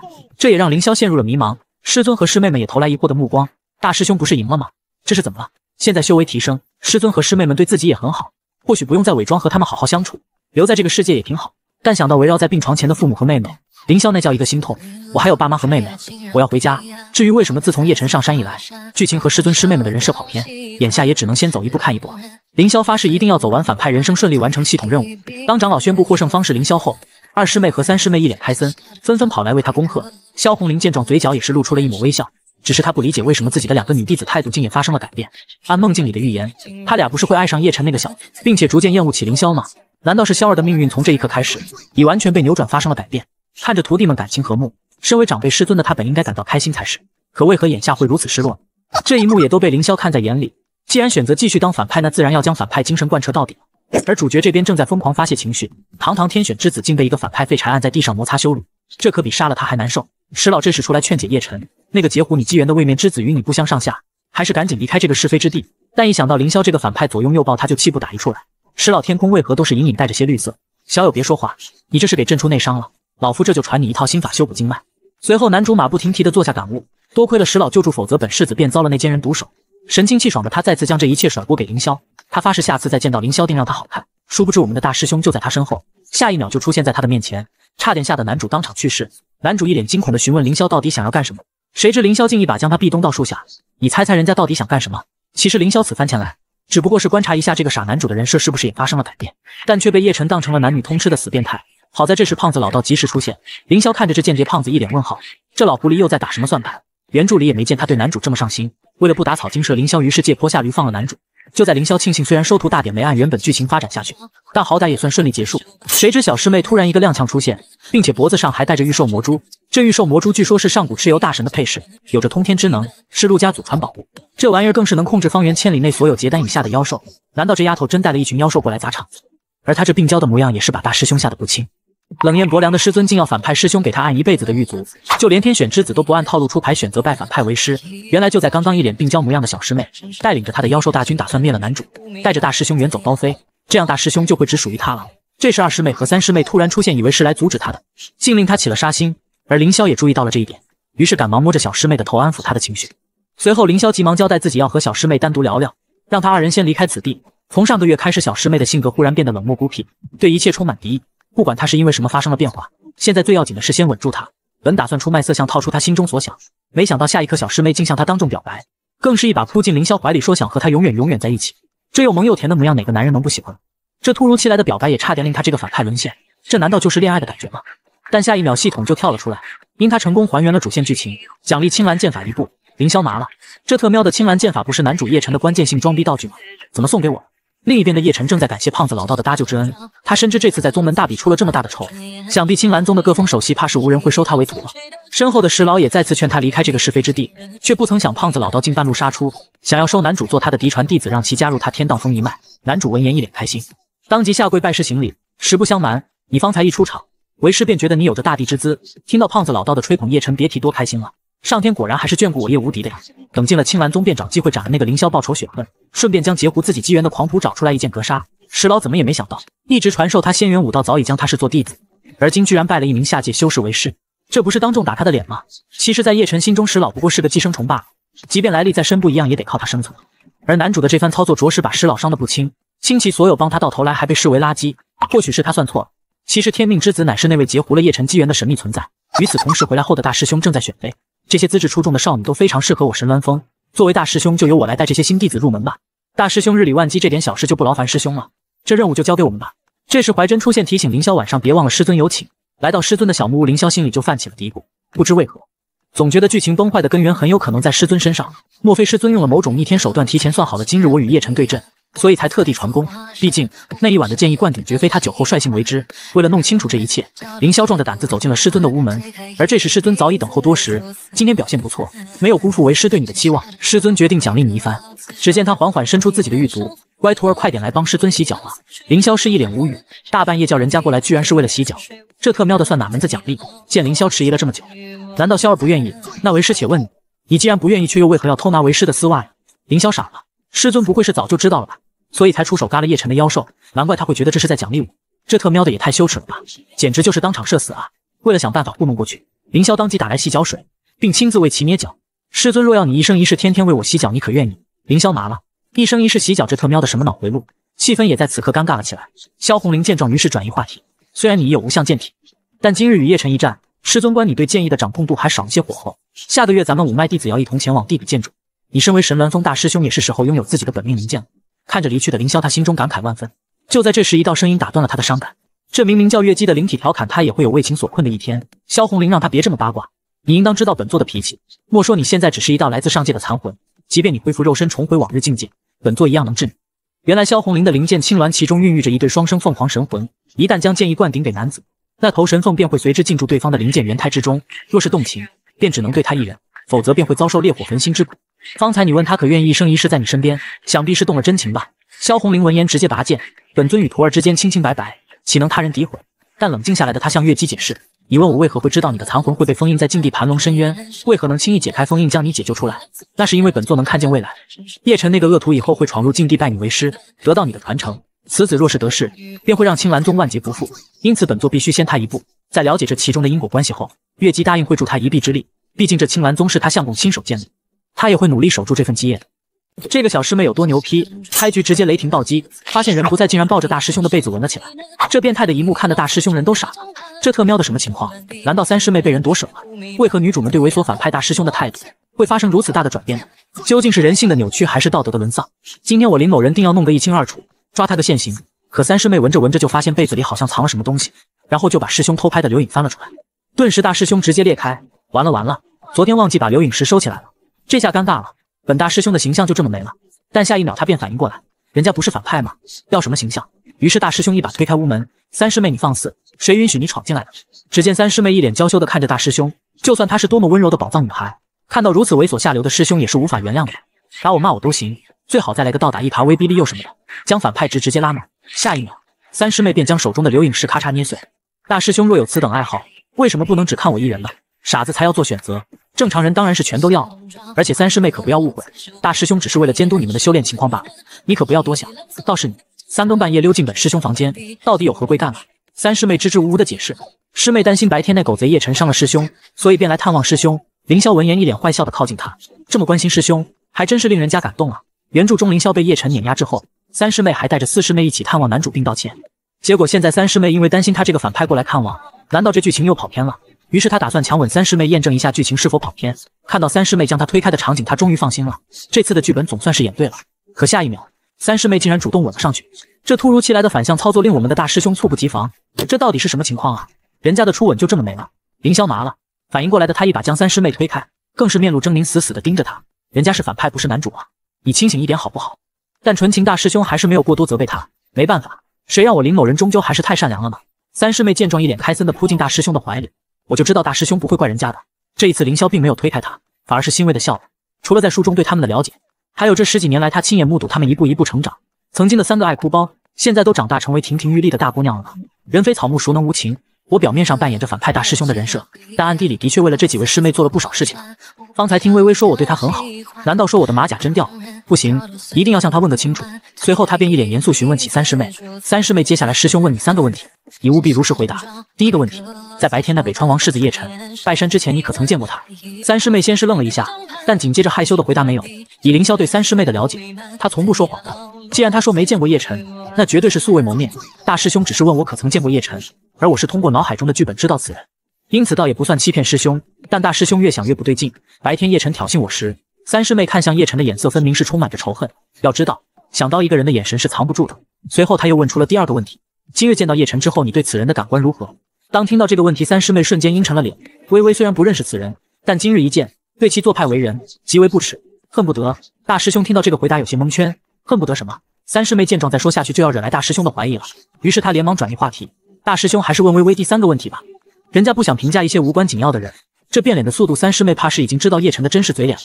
看来三师妹也对我有所隐瞒了。如果她真没有见过叶晨，那又为何会露出如此大的杀机呢？不行，得试探明白三师妹对叶晨是什么想法。于是他便向三师妹问道：“你可愿意帮大师兄一个忙？我想让你去一趟天荡峰，为叶晨设下一个局，帮你家大师兄出出气。你若是不愿意就算了。当然，这么做的目的其实是试探一下三师妹的态度。可令他没想到的是，三师妹不仅欣然接下这个任务。更是想自己出手斩了男主。大师兄什么时候动手？需不需要给他留个全尸？看到这一幕，大师兄人直接傻了。听我说，师兄是跟你开玩笑的。完了完了，娇羞可爱的三师妹竟使用美人计来对付天命之子。此刻的男主正在房间内修炼，并成功提升到了筑基境。原来这一切的功劳都要归功于我们的石老传授的这套功法。不得不说，石老是我见过的最没有尊严的舔狗了。堂堂一个上界大能，被男主多次扎心后，竟还选择原谅男主，并送上顶级功法。就在这时，一名弟子前来。叶师弟，神鸾峰的楚师姐来访。当听到楚幼薇前来，男主先是一愣，不顾石老的劝解，选择前往。气得石老心里已经不知问候他多少次了。当男主来到天荡峰，便看见等候多时的三师妹。楚师姐不知深夜约我相见有何贵干吗？只见三师妹一脸害羞的说道：“人家今日来是为了替我大师兄向叶师弟道歉。我大师兄今日出手没轻没重，害得你受伤，真是委屈叶师弟了。”男主看着三师妹羞答答的模样，那叫一个猥琐。其实他不知道的是，三师妹只要一说谎就会脸红。三师妹调整了一番过后，继续开始了她的表演。其实一切都是我大师兄的错。他见我茵茵师妹对你一见钟情，便心生嫉妒。叶师弟你是无辜的，当然这一切都是骗他的。三师妹心中恨不得现在就斩了男主。叶晨闻言流下了激动的泪水。果然，这个女人她是懂我的。本世子有预感，从今夜开始之后，那人见人爱的天命之子光环又回来了。说着便上前打算给三师妹一个爱的抱抱，但被三师妹及时躲开。随后更是一脸自恋的表示：“我知道楚师姐不是有心的，你只是太害羞了。”三师妹见时机已到，于是提议要带她好好游玩一番，当作为大师兄略微赔罪了。还没等男主答应，三师妹便欲擒出发。叶晨见状也唤出自己的飞剑。女人和我玩欲擒故纵是吧？这游戏我喜欢。令三师妹没想到的是，叶晨这一介武夫又刚刚入门，竟会这等仙家身法。猜测他背后定有高人指点。怎么样，心动了吧，女人？我这一手可是用上了全部真力。这时，三师妹突然停了下来，表示自己要去前面的灵泉沐浴一番，让他在此地稍等片刻。石老提醒他小心有诈，此地灵气充沛，像是一块极为稀少的先天聚灵地。通常这种地方都是宗门内提供给核心弟子，甚至只是长老们的修行宝地。咱们还是快快离去为好。可这时的叶晨面对如此诱惑，岂会离开？我堂堂气运之子，哪一次危机不是化险为夷？半个时辰后，叶晨在外面冻的是瑟瑟发抖。怎么这么久了还没回来？不是说去前面的灵泉里沐浴吗？要不过去跟他打个招呼。而这时上方突然出现几名妹子在空中修炼，搞了半天，原来此地是凤鸣峰的地盘啊。当他看到天女池三个大字，猜想楚佑薇肯定是在故意拖延时间，等他主动过去。很快，叶晨便一路寻找，终于发现一名女子正在灵池沐浴，随后一脸猥琐的向灵池跑去。楚师姐，我来了。可下一秒迎接他的竟是洗澡水打脸。何方小贼，竟敢擅闯我凤鸣峰禁地天女池！叶晨下意识咽了口唾沫，完了完了，这下真的完了。这个男主有多自恋，偷看人家妹子洗澡被发现后不选择逃跑，竟还主动上前搭讪，这难道就是来自主角光环的优越感吗？原来就在男主偷看妹子洗澡被打脸后，当场愣在了原地，只因他看到美女就走不动道的老毛病又犯了。石老让他赶紧闪，这女人是天生的修罗战体，杀气极重，而且实力远在他之上。男主则认为石老是在杞人忧天，表示自他出生起就有一种特别的魅力光环。并扬言，只要是美女都对他难以抗拒，即便是这个小野猫也抵挡不了他的魅力。就当男主一脸自信向前搭讪时，妹子直接一剑向他斩来。你这偷窥狂还敢嬉皮笑脸，真是不知死活！此刻的男主才真正意识到，面前的这个妹子不好惹，这霸道凌厉的剑意可不是他能够抵挡的。这女人是真的对他动了杀心。石老也是一脸无语。初见男主时，他还并不是这样猥琐，从前的他满腔热血却不是缜密冷静。但自从遇到反派凌霄之后，他的人格也逐渐扭曲，这也让石老怀疑他可能不是天命之子。反倒是那凌霄气运极佳，更像自己要找的人。这时又有几位师妹出现，并认出了叶晨的身份。于是祝婉宁吩咐师妹先将叶晨压下去，将此事禀报师尊后再做定夺。躲在草丛后面的三师妹看到计谋得逞，一脸开心。但想到祝婉宁长得又美，实力又强，大师兄让她将叶晨引到此地，也正是因为了解祝婉宁的脾气秉性，猜测大师兄可能对祝婉宁芳心暗许。一想到这里，三师妹心里那叫一个气。凌霄也因还原反派人设成功，获得了诸多奖励，更是自动领悟剑诀神通，剑影苍龙真诀。可下一秒，他就感觉情况不妙，叶晨怎么会被祝婉宁打成重伤呢？这不应该呀！根据原著剧情，三师妹拜访了叶晨，两人聊得正嗨，因此误入凤鸣峰的地界，和祝婉宁打了一架。叶晨因为三师妹的出手，所以并没有受伤。但想了想，这样也好，就叶晨这个狗男主，以后有他在，别想染指他的宝藏师妹。眼下三师妹确定人设崩坏，看来要走完反派大师兄的剧情线，只能将希望寄托于其他两位师妹了。接下来就是男主装逼打脸的第二大剧情，剑冢外的五脉会武。就在凌霄查看系统给他的道具后，他人直接傻了。大小神通如今共计八十七项，这特喵的是打算让他这个反派锤爆叶晨自己当男主吗？本打算删掉修炼经验包，不料这狗系统竟自动开启强制提升修为，他还从未见过如此厚颜无耻之系统，不仅直接将他的境界提升到半步金丹境不说，还给他解锁了新神通。就在这时，三师妹突然推门而入，两人四目相对，场面一度陷入尴尬。害羞的三师妹隔着指缝大喊大叫道：“大师兄，你这个变态！为了将反派人设进行到底，凌霄怎么会放过这么好的机会？”只见他一把搂住师妹，那猥琐的表情，一个字绝。反派师兄竟将男主的后宫收入怀中，先是纯情三师妹主动投怀送抱，现在又来了个高冷二师妹千里追夫，左拥右抱的感觉简直不要太爽。寂静的夜晚，凌霄带着三师妹来到神鸾峰赏月，看着天空中那优美的月光，三师妹一脸幸福。原来眼前的星空便是大师兄要送给我的礼物。凌霄告诉他，此地乃是神鸾峰观星赏月最佳之地，每逢他夜不能寐之时，自己就会来此处赏月。这时，三师妹突然问道：“为何大师兄会突然想到把叶晨引到祝师姐那里借刀杀人呢？并且如此断定叶晨一定会上当，以及祝师姐一定会出手伤他呢？”凌霄一脸尴尬，表示自己这么做全凭直觉，要不然也不能说自己对祝婉宁的人设了如指掌吧。在原著中，祝婉宁天资无双，身负太古修罗战体，她对于为人轻浮桀骜的叶晨，起初更是完全无感。但在接下来的五脉会武的剧情中，心高气傲的他被叶晨暴冷击败后，就对其另眼看待。在剑冢副本，他二人被困秘境，为了逃出升天，更是一起修炼了青蓝双剑。但很快凌霄就察觉到有些不太对劲。现在他俩提前见面了不说，祝婉宁还直接打伤了男主，结下仇怨。那后面他俩还能一起修炼吗？这时三师妹突然打断了他。既然大师兄心中郁结已除，那接下来就轮到师妹了。又是这突如其来的场景，这么可爱的三师妹谁顶得住啊？在这幽静的山峰，三师妹竟向凌霄当众表白，表示想做大师兄的道侣。不知大师兄可愿意否？这就是心动的感觉吗？哪个男人会拒绝如此可爱的师妹呢？但现在这个时候，他一定要冷静，不能被福利冲昏了头脑。现在最要紧的就是要搞清楚三师妹为什么人设发生了改变。凌霄害羞地问道：“难道你家大师兄还不够猥琐，不够讨厌吗？”要知道他在神峦峰里没几个人真心待见他。平常温柔可爱的三师妹一脸严肃地表示：“她永远不会忘记入山的第一日，她绝望无助的时候，是大师兄给了她温暖。还有六岁时不小心弄坏琴弦，是大师兄熬夜帮她修好的。”凌霄麻了，三师妹怎么什么都知道啊？表面上维持反派人设，暗地里却做着暖男的事。凌霄怀疑是不是因为他们发现了自己背后做的事，所以人设才发生了改变？难道说此时此刻的三师妹，并不是喜欢书里的反派凌霄，而是当下的自己？还没等凌霄反应过来，三师妹竟主动将大师兄搂进怀里。大师兄，你愿意接受微微的心意了吗？凌霄刚要回答，却被三师妹再次亲吻。而这尴尬的一幕，也恰巧被前来的二师妹尽收眼底。三人顿时愣在了原地。凌霄见状，今天豁出去了，还不等二师妹拒绝，便将其一把拽进怀里。果然，当反派才是最快乐的事。其实凌霄的内心慌得要死，为了将反派人设进行到底，凌霄打算先把他们灌醉，就是看师妹们的样子，怎么有一种不祥的预感呢？男主的后宫竟打算对反派师兄霸王硬上弓。原来大师兄的秘密早就被二师妹发现。二师妹从小家破人亡，后被师尊带回神鸾峰收为弟子。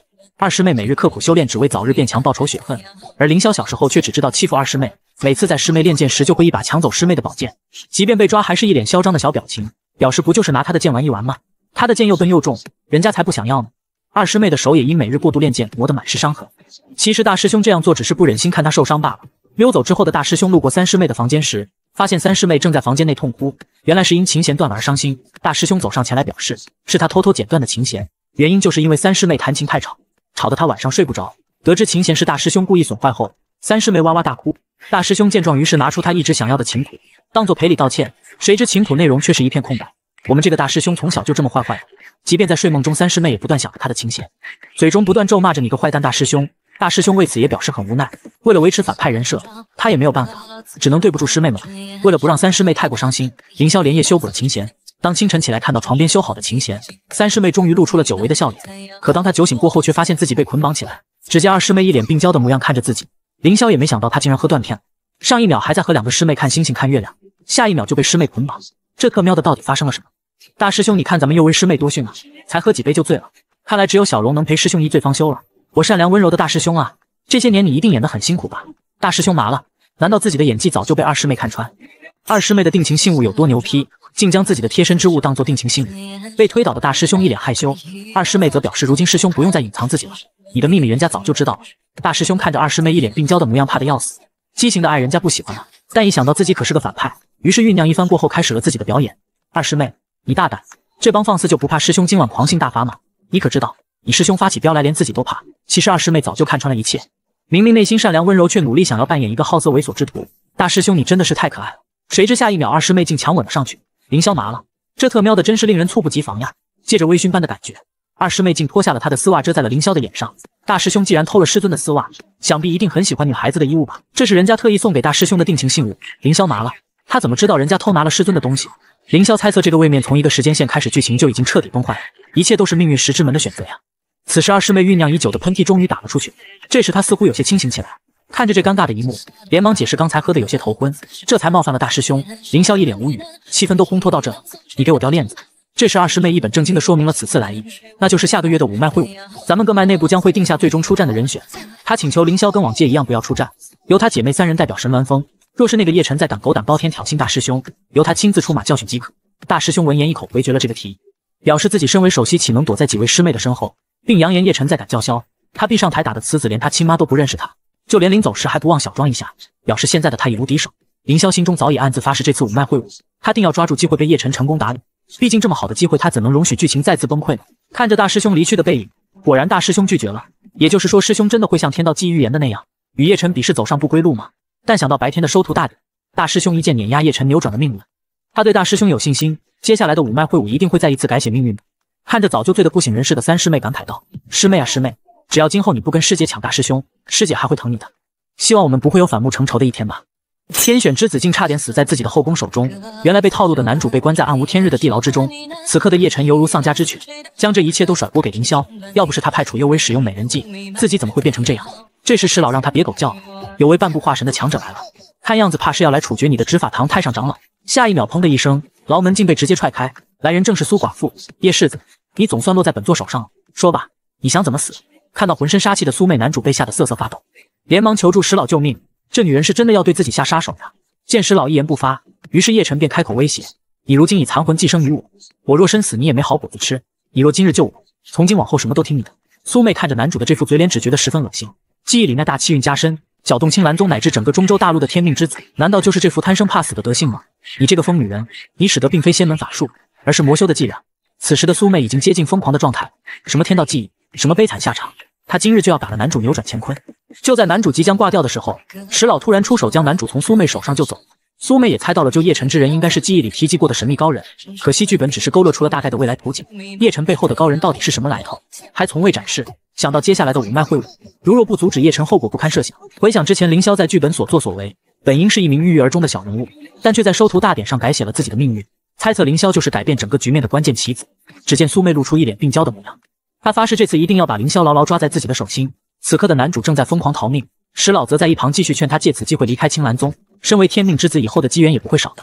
等修成大果，正道神王，再回到此处覆灭青兰宗，岂不美哉？只见男主停下脚步，扬言自己乃是天命之子，与他作对的都得死，否则这天命之子不当也罢。你我不过是个区所需，何必将自己说的那么伟大？无奈的石老也只好再次低头，随后便问起男主接下来打算怎么做。而男主自然是要将凌霄与楚幽为合伙陷害他的事情告诉元义老道，让凌霄为此付出代价。石老这时提醒叶晨，那元义老道身上夹杂着一股上古邪魔之息，搞不好此人是八大宗门安插在正道的奸细。叶晨闻言竟哈哈大笑起来，正好与这家伙联手一起灭了青兰宗。只要他一封书信，他那没有血缘关系的美少女妹妹叶轩儿就会率领八十万北川精气配合魔门势力一举将青兰宗踏灭。此刻的石老已经是对男主失望透顶，正邪不分，善恶不变，此子没救了。随后，他便想到那位隐藏在青兰宗劫胡夜辰气运之人，或许抱此人大腿还算不错。天命之子竟阴差阳错拔出了魔剑，原来逃跑后的主角意外来到剑种秘境，石老一眼就认出了这里。剑种秘境是青兰宗专门用来给本宗弟子铸就本命灵剑，十年才会开启一次。男主闻言，也就是说里面有很强大的武器了。石老一脸兴奋，告诉叶晨，只要能成功得到一把，对修士本身的实力内将是质的提升，所以每年才有这么多人要拜入青兰宗。石老感受到剑种内有一股神秘的精纯力量，猜测里面可能是叶晨的大机缘。叶晨闻言一脸兴奋，前一秒还在被人追杀，后一秒就碰上此等机缘，这才对得起他天命之子的身份吗？可这时石老突然拦下他，只因怕剑种内危险重重，凭他现在的实力进去只有死路一条。叶晨则认为常年关闭的剑种因他的到来而打开，这分明就是为他而特设的机缘。有了这机缘，他定能将凌霄狠狠踩在脚下。最终，叶晨不顾石老的劝解，还是进入了剑种内。在两人的不断探索中，石老终于找到了那股神秘力量的源头。就在打开石门的一瞬间，叶晨就飞快地冲了进去。而映入眼帘的却是一柄诡异的魔剑插在棺材之上。石老不解为何仙宗内会有魔族的武器，可叶晨则不管那些，只有此等魔兵才配得上本世子的身份。这时石老再次阻止叶晨不要轻举妄动，提醒他这魔剑有极其邪恶的镇压封印，此情此景必有重大隐情，不是他能把握的。叶晨闻言恶狠狠地盯着身后的石老，他把握不了。那你觉得青兰宗内抢走他气运的那厮能有把握吗？石老无奈地告诉他，对比目前的气运情况，确实那人或许有把握。男主闻言当即暴怒，凭什么他可以？我就不行，今日就让你看看谁才是真正的天命之子。当叶晨拔出魔剑的一刹那，棺材内的魔气蜂拥而出，石老也在这时感觉到来自上界的气息。此刻的叶晨已经接近疯狂的状态，扬言这就是为他特设的大机缘，扭转乾坤，指日可待。下一秒，萧红玲就出现在男主的身前。此刻的叶晨一脸懵逼，凌霄的师尊怎么会在这呢？这时，萧红玲才缓缓开口说道：“你果然能解开这个封印，不枉人家引你到此处。”而凌霄看着裂开的茶杯，一种不妙的预感瞬间涌上心头。堂堂爽文男主天命之子，明明天下的女子都该倾慕于他，可如今这一切都成为反派大师兄的了。其实上一世的叶晨在拔出魔剑后，青兰宗的祖师娘娘月姬便就此出现，并将青兰宗祖脉之力传授于男主，作为助他解除封印的报答。自那之后，叶晨便暴露出了他的本来面目。如今的青兰宗沦落至此，全都是拜他所赐。这时男主也不再掩饰，扬言只要师尊带着师姐们老老实实顺从于他，他就会帮其保住青兰宗；如若不然，便屠灭青兰。时间来到叶晨入剑冢之前。萧红玲按照天道记忆来到魔剑所在位置，她不解到底是谁将月姬封印于此，但不管出于什么目的，既然他已经提前知晓，那自然不能如叶晨所愿。这魔剑可是叶晨的机缘，所以他必须提前拿走，这样叶晨的人生就将止步于此了。可萧红玲使出浑身解数魔剑，依旧纹丝不动。果然，这把魔剑只有真正的气运之子才能拔出。于是他便想了个办法，那就是将叶晨引入剑种，让其拔出魔剑。他在半路截胡，这样叶晨所有的努力便会功亏一篑。时间来到叶晨拔出魔剑后，萧红玲也在此时霸气登场。石老见状，连忙提醒男主情况不妙，叫他赶快逃离这个是非之地。谁知男主两眼冒光，将半路杀出的萧红玲当做他的机缘。石老拔了，你小子还真是油盐不进啊！面对如此妩媚动人的师尊，身为天命之子的他也沦陷了。此刻的叶晨心中暗想，只要能拿下萧红玲，凌霄那个仙棍还不俯首称臣。就在他白日做梦时，萧红玲一把便将他丢飞了出去，并嘲讽叶晨要有自知之明。能让他萧红林高看一眼的，唯有他的徒儿凌霄。至于你又算个什么东西？此刻的叶晨内心被打击的已经不成样子了。明明自己才是气运之子，天下的女子本都该爱慕于他，可这一切凭什么都变成凌霄的？石老让叶晨快逃，他已经感觉到萧红林起了杀心。可叶晨似乎还没搞清楚状况，以为自己是气运之子，绝不会轻易狗带。谁知下一秒便被萧红林打飞了数米之远。而此刻的萧红林只有一个想法，那就是灭了叶晨，改写青兰宗的命运。谁知就在长剑即将刺中叶晨时，拥有天道庇护的叶晨再次化险为夷。并降下天雷，重伤了萧红林。天命之子竟被师尊打成猪头，就连戒指中的石老都被揪出来一顿胖揍。就在萧红林打算一剑解决掉男主时，竟意外受到天道庇佑降下的惊雷，身受重伤。此刻的男主感觉自己又醒了。小爷，我果然是气运之子，想要对我出手，这下遭老罪了吧？想到萧红林刚才对自己的羞辱，他今日必报此仇。要不他还算得上男人吗？萧红林也在这时拖着重伤的身体艰难站起，即便浑身是伤，他也要干掉叶晨。可每一次想要对叶晨动杀心，就会被天道庇护惩罚。此刻的叶晨一脸猥琐，放弃吧，萧仙尊，人家会让你死得其所的。随后将魔爪伸向了萧红林，萧红林内心无比自责与不甘，这一世他终究还是保护不了他的宝贝徒儿。谁知就在叶晨即将得手时，随身佩戴的玉佩突然亮起，天道庇护竟然消散了。这时石老赶忙提醒叶晨小心，天雷被化解了。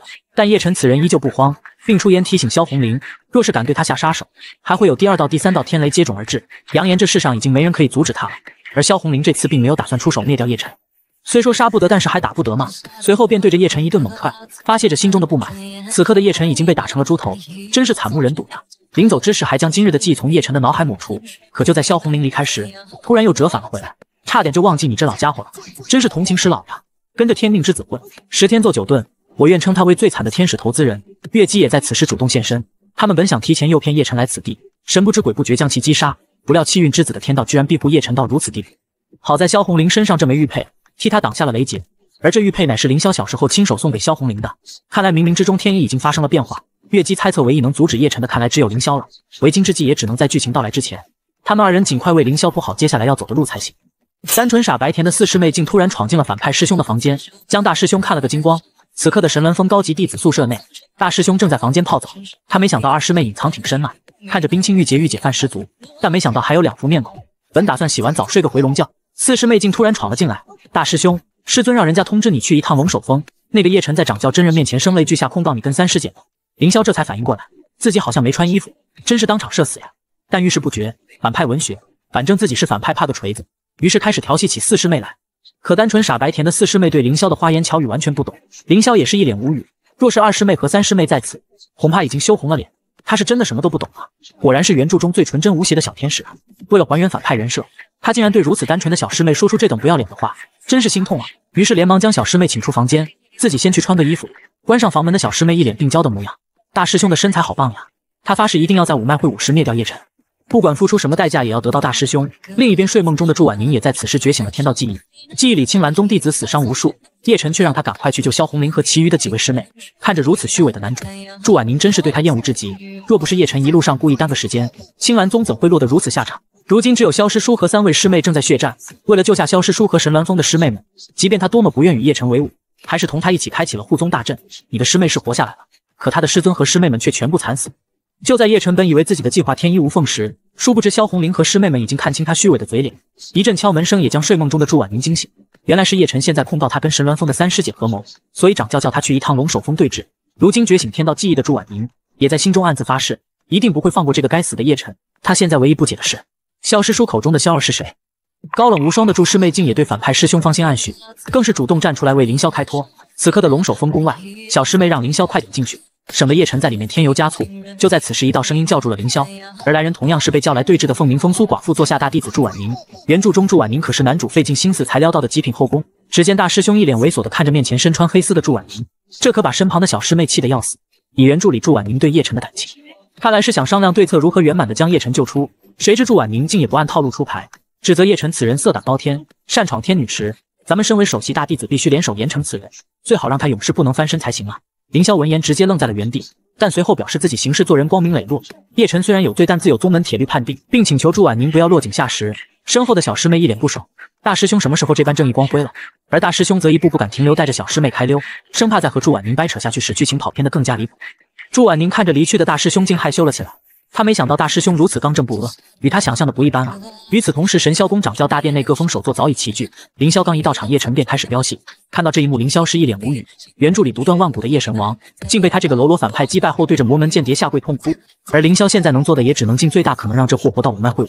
随后给叶晨来了一个国际手势，而他也在刚才跟男主对视之时，感觉不到那股天命之子自带的强大压迫感。难道是这小的气运开始衰败了？这时掌教询问凌霄为何楚幽微没有到场，凌霄回答三师妹昨晚恋情过度。伤了心脉，所以在宿舍歇息。随后便开始审问凌霄昨晚是否指使楚幼薇将叶晨骗到天女池。凌霄马了，要怎么说才能撇清他的关系，又不至于将叶晨弄死？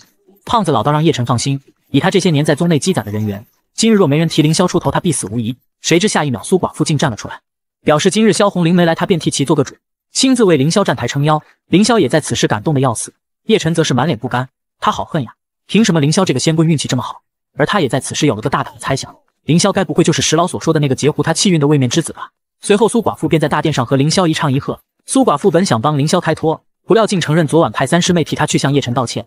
因为凌霄深知三师妹那晚去天荡峰找叶晨，大概率会与天荡峰的其他弟子碰面，与其遮遮掩掩，还不如大方承认。但紧接着凌霄解释他的本意，只是让三师妹替他缓解和叶晨的仇怨。没想到三师妹竟一脸急迫的找到了他。说是与叶晨不小心走散了，并且四下寻找都没发现叶晨的身影。这番牛批的反向操作，不仅让大家相信了这是一场误会，更令弟子们投来崇拜的目光，对待手下败将也如春风般温暖。林首席真乃真君子也，这可把一旁的男主气得牙痒痒。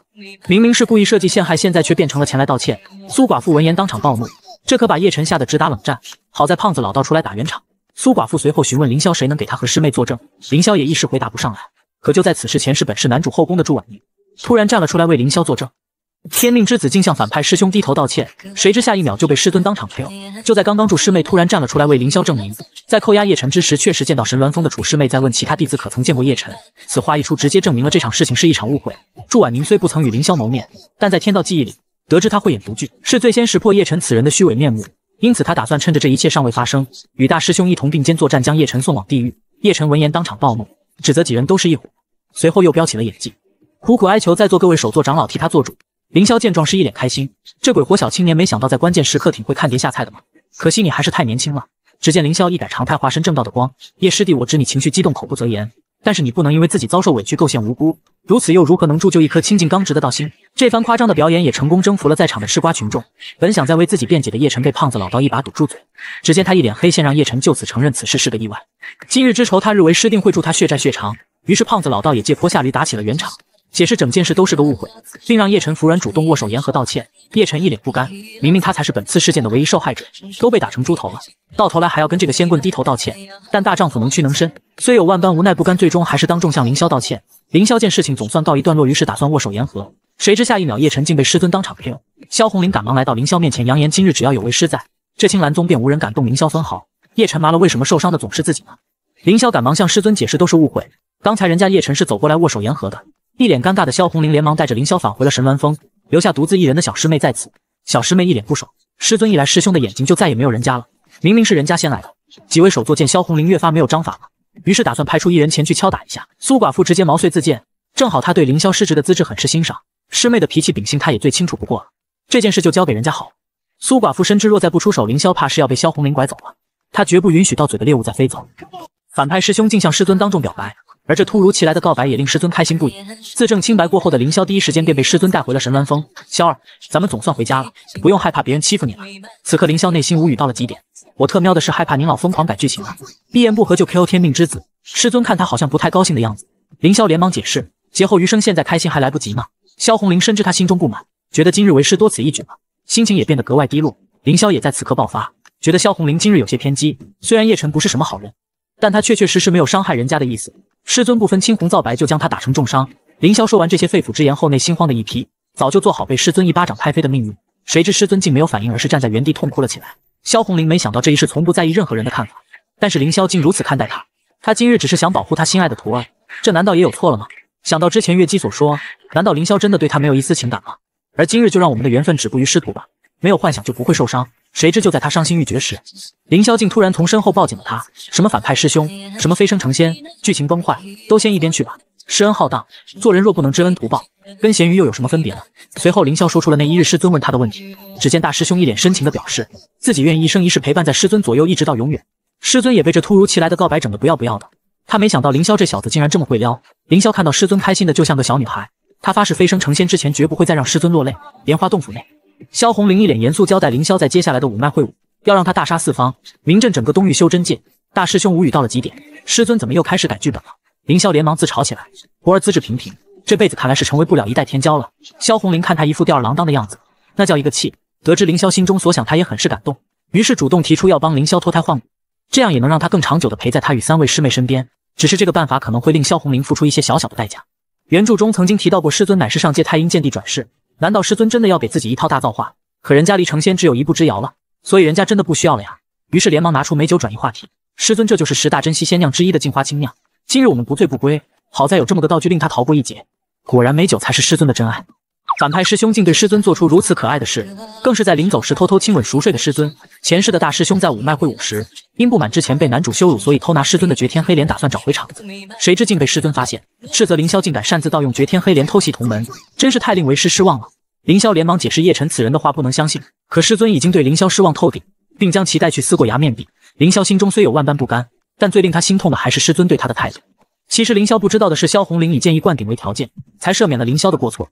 谁知当他来到思过崖，却发现自己的宝贝徒儿竟自绝于此。每当在睡梦中想到前世发生的一切，他就不由落泪。萧儿，这次为师绝对不会再让之前的悲剧重演。凌霄也没想到系统奖励的美酒居然如此好使，就连师尊这个酒鬼都醉了。看着被灌醉的师尊，凌霄一脸坏笑。这要是不做点坏事，也太对不起他反派的身份呀。随后他便将接下来的作死道具绝天黑莲弄到了手。按照原著剧情，在五脉会武之前，凌霄为了碾压叶晨，鬼迷心窍的潜入师尊的洞府，偷取了神鸾峰的禁忌法宝绝天黑莲。也是因为这个契机，师尊才对他大感失望。这次他不仅要带走绝天黑莲，还有一件事他一直想做，那就是趁师尊熟睡，好好捏捏他的小脸。这手感真的绝了！做完这一切的凌霄，临走时一脸深情的亲吻师尊的脸颊。殊不知萧红玲其实一直都在装睡，他没想到凌霄竟会偷偷亲她，而且还这么的熟练。月姬也在此时突然出现，居然真被萧红玲算准了。凌霄这小家伙还真会偷拿法宝。好在萧红玲早就有所防备，让月姬净化了绝天黑莲的凶煞魔气。如今的绝天黑莲已经蜕变成为了真正的天阶法宝九幽青莲。月姬竟也看不透萧红玲，难道是他记忆里有着天道遗落的预兆法则？这才窥探了几分未来。萧红玲闻言，只是窥探，怕是远远不够。之前月姬前辈曾说，那叶辰是身负上界大气运之人，若想彻底抹杀他，必须先得榨干他的气运。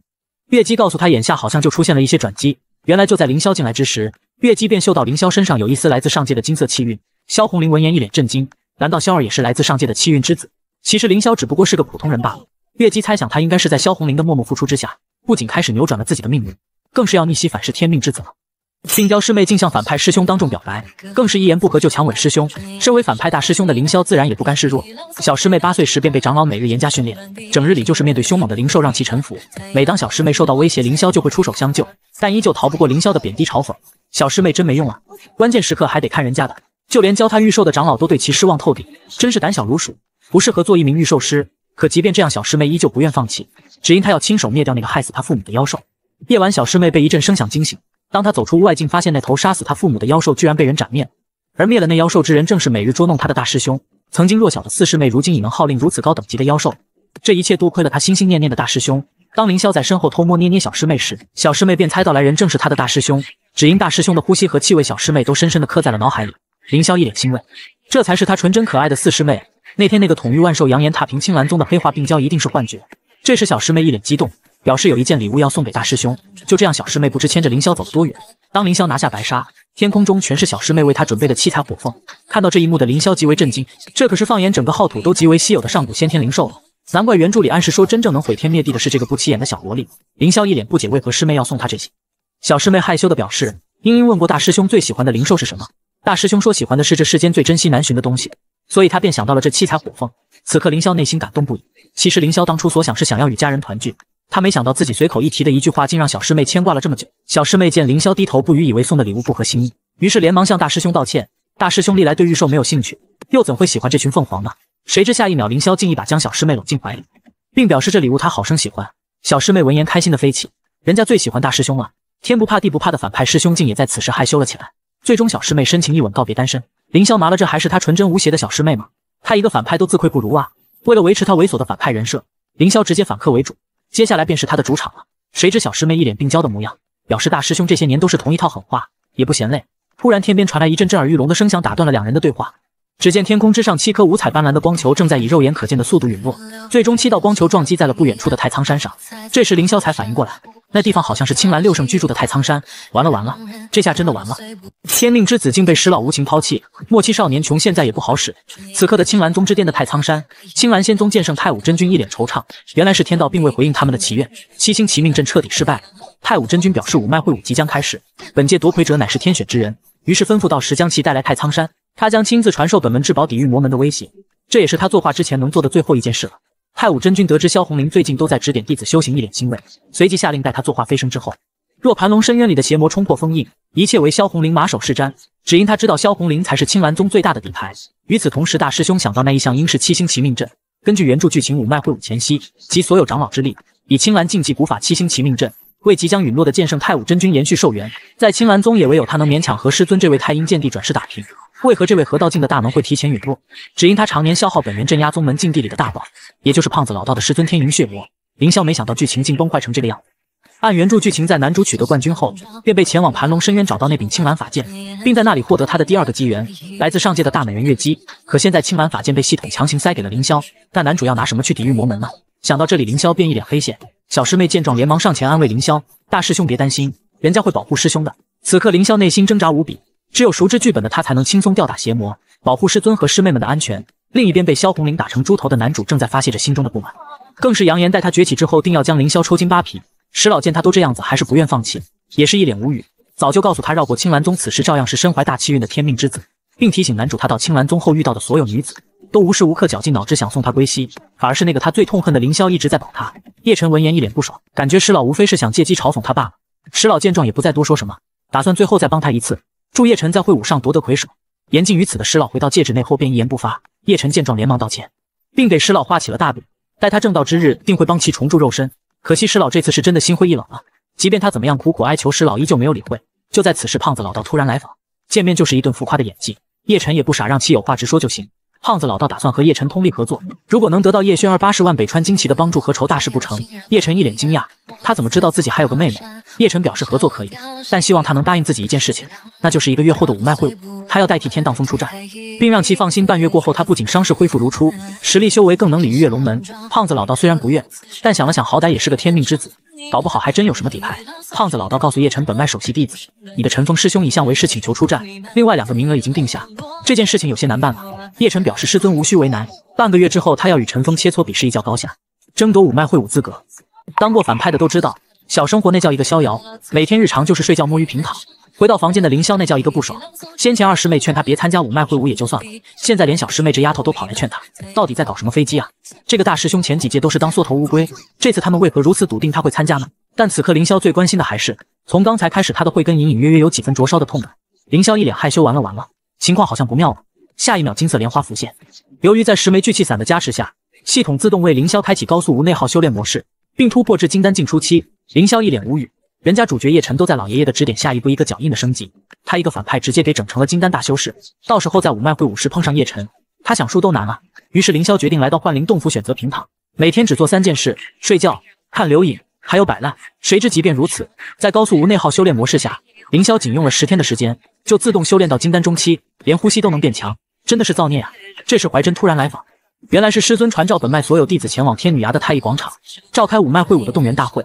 按原著时间线，凌霄就是在这次动员大会上收到叶晨递来的战书。如今叶晨败入反派阵营，不知剧情会发生怎样的变化呢？凌霄询问怀真，其他几脉的出战人选都是谁？怀真也是将他所打听到的消息一一告知了大师兄。当凌霄得知龙首峰今年还是由徐正清出战，一脸惊讶。按照原著这一届的五脉会武，龙首峰将会派出他们的秘密武器，那就是龙首峰上一代首席大弟子江源。毕竟他天生通明剑心体质，天赋绝佳，更是甚得师尊紫云真人的宠爱。多年前，江源因为私通魔门妖女。被关在龙首峰悟道崖关键六十年，今年正是他解除禁足的时候。随后一路碾压对手，成功与叶晨会师决战，但最终还是不敌天命之子，被无情暴打。凌霄猜测不会是江源认怂了吧？更是从怀真口中得知，叶晨不仅修为突飞猛进，突破金丹初期，更是还打败了陈峰师兄。凌霄闻言一脸开心，师老真是太给力了。随后，凌霄从储物戒中拿出一袋灵石和一柄炼气期的低阶飞剑，送给了怀真。怀真看着这两件东西，眼睛直冒金光。大师兄嘱咐怀真，在五脉会武时，无论发生何事都不要去插手。会武结束就下山找个地方摸鱼躺平，潇洒过一生吧。只因凌霄在五脉会武被男主打败后，最终在众叛亲离下选择自我了断。而在凌霄死后，怀真欲要为大师兄报仇雪恨，最终偷袭失败，身死道消。看着憨憨的怀真，凌霄一脸伤感。他希望在自己离开之前顺手改变这老实孩子的命运。听完大师兄所说，怀真竟嚎啕大哭起来。在他心中，也只有大师兄愿意与他说话，试图育他成才。这份恩情，他一直牢记于心，从不敢忘。怀真答应大师兄，五脉会武之后便离开青兰宗，做一个平凡之人。安慰完怀真后，凌霄便没有什么后顾之忧。看着大师兄离去的背影。怀真心中暗自发誓，我家大师兄是这世上最宽厚善良的师兄，这辈子便是为他豁出性命又如何？人家一定会守护好我们的大师兄。羡慕反派师兄的每一天，大师兄刚刚出场，两位师妹就主动前来投怀送抱，但如此美妙时光却被天命之子下的战书打破。当凌霄来到天女崖的太乙广场，众弟子纷纷鞠躬拜见大师兄，不愧是神鸾峰首席，气质高贵无人能比。大家也觉得凌霄好像和以前不大一样，当然不一样了，我在家平躺修为都突飞猛涨。就在这时，两位师妹突然抱紧凌霄，凌霄连忙让两人松开。人家不能呼吸了呀！师妹们发现大师兄竟然突破先天，进入了金丹，十分惊讶。要知道凌霄十几年都在先天初期原地踏步，几日不见居然突破到了金丹，凌霄一脸不爽。你家大师兄之前是低调，不想突破罢了，现在不装了，摊牌了。我是天才怎么低？如此嚣张的模样，让两位病娇师妹更加春心荡漾。果然如剧本中所说，大师兄为了保护大家，没日没夜的拼命修炼，用生命与叶晨那个天命之子战斗到底，十日入金丹，完全可以想象大师兄他承受了多大的压力与艰辛。凌霄麻了。这到底什么情况啊？还没等凌霄反应过来，师妹们竟当众再次扑进凌霄怀中。人家不就是摆烂了十天，至于这样吗？就在此时，师尊霸气登场，看着不远处的凌霄他们，萧红林内心无比惆怅。随后，萧红林表示，关于此次打头阵的三位内门弟子名额，分别由神鸾峰的三位师妹出战。师妹们得知出战，一脸开心，扬言一定会替大师兄好好教训叶晨。凌霄让他们不要勉强，其实你们什么都不做，才是对我最大的帮助。师尊见状，一脸醋意，光天化日之下，勾勾搭搭成何体统？但一想到他们都是自己的好徒儿，又这般天资聪颖，他们与自己的大师兄关系和睦，身为师尊的他应该开心才是。于是独自买醉，打算忘记眼前的这一切。谁知就在此时，突然一阵寒意来袭。神鸾峰萧师叔在上，弟子奉天荡峰新任首席叶晨之命，特来下战书，约战神鸾峰首席弟子凌霄。萧红林见状，一脸杀意。他没想到这个天荡峰的原首席弟子陈峰，还是如剧本描述的那般不知死活的找上门来。反观凌霄，内心开心无比。他心心念念的剧情点终于来了。叶晨好大儿，你果然没让反派爸爸失望。如此完美的开局，真是妙啊！反派师兄竟当众接下天命之子的战书，如此气魄也令在场的师尊师妹们更加崇拜不已。看着如此从未有过的美妙开局，大师兄无比兴奋。凌霄也因还原反派人设成功，成功提升至金丹巅峰。凌霄一脸无语，现在都直接强塞经验包了。众弟子对叶晨这番赛前下战书的操作十分鄙视，叶晨这小子一定是之前被大师兄打得跪地求饶，因此想借机报仇，也不知道大师兄会怎么应对。只见凌霄对着陈峰便是一顿嘲讽：“这不是陈师兄吗？”一阵子不见，怎么这么拉了？好好的首席位置就这么拱手让人了？如今竟还敢上神鸾峰挑衅，真是脸都不要了！凌霄这是杀人诛心啊！他也因再次还原反派人设成功，获得九神咒这个被动神通，陈峰也不敢多说什么。随后来到萧红林面前，表示此番前来替叶晨下战书，挑战龟派大弟子凌霄。凌霄连忙询问这战书是给本首席的，去打扰我家师尊是几个意思，并表示这战书他接了。就在这时，两位师妹赶来制止凌霄不要应战。师尊突然发话，让他们两个让开，这天荡风的战书他亲自接了。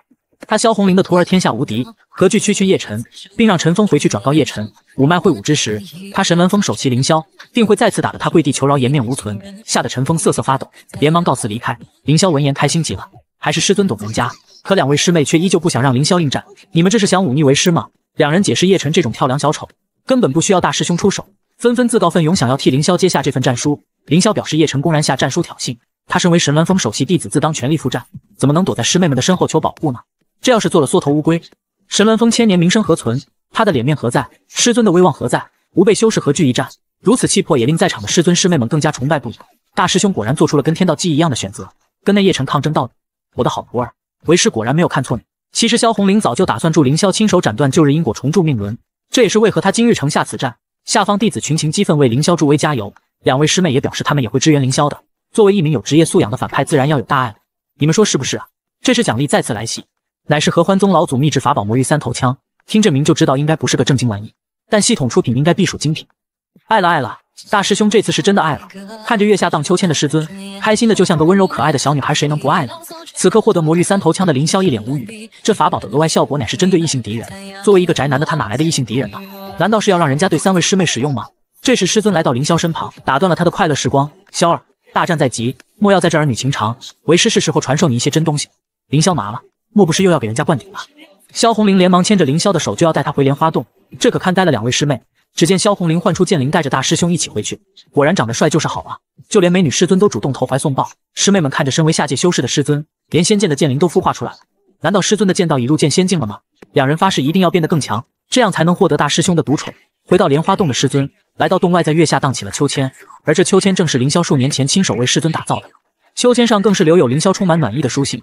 自从有了这个秋千，他就再也没去外面喝过酒了。看着月下荡秋千的师尊，凌霄真的爱了。师尊喜欢就好，给师尊奉孝是徒儿应尽的职责。谁知就在此时，萧红玲突然来到凌霄面前，还没等凌霄反应过来，下一秒便被传送到一处料无人烟的沙漠之中。而这里正是师尊为他搭建的一方剑道秘境。萧红玲早已算到叶晨得高人指点，不仅突破金丹修为，剑道实力更是突飞猛进，于是将凌霄带来，打算实战锤炼一番。而接下来便是大师兄与师尊的对战。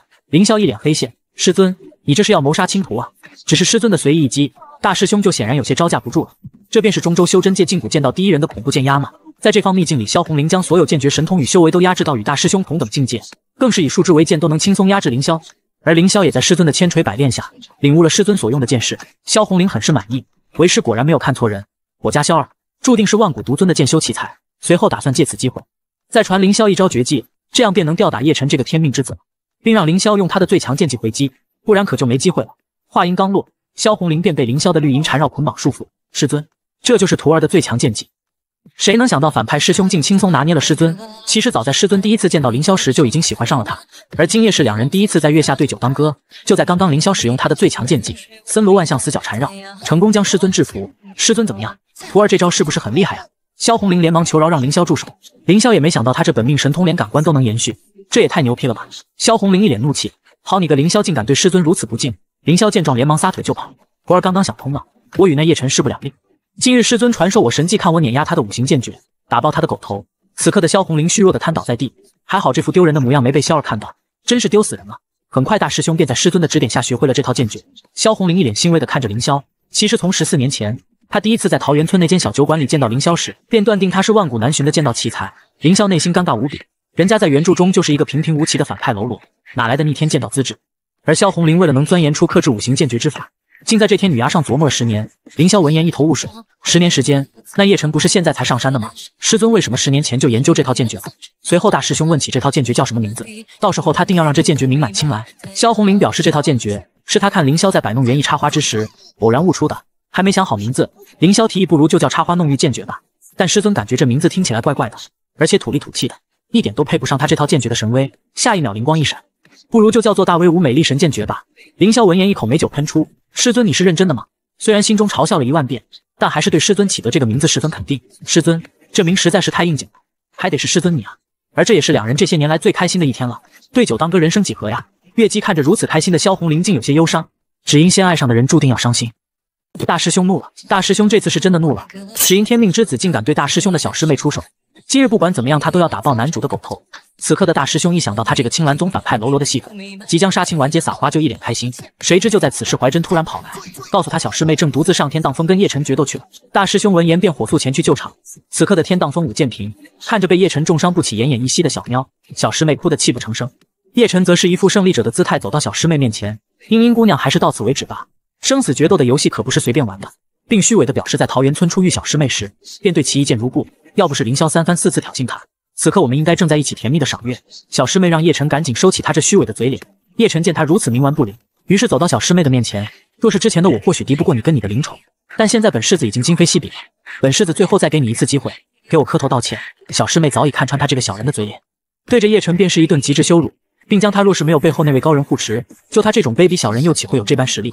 自以为气运无敌、高贵无双，实际上就是个跳梁小丑罢了。叶晨没想到他竟会知道自己背后有人。此刻的叶晨显然已经动了杀意，打算杀人灭口。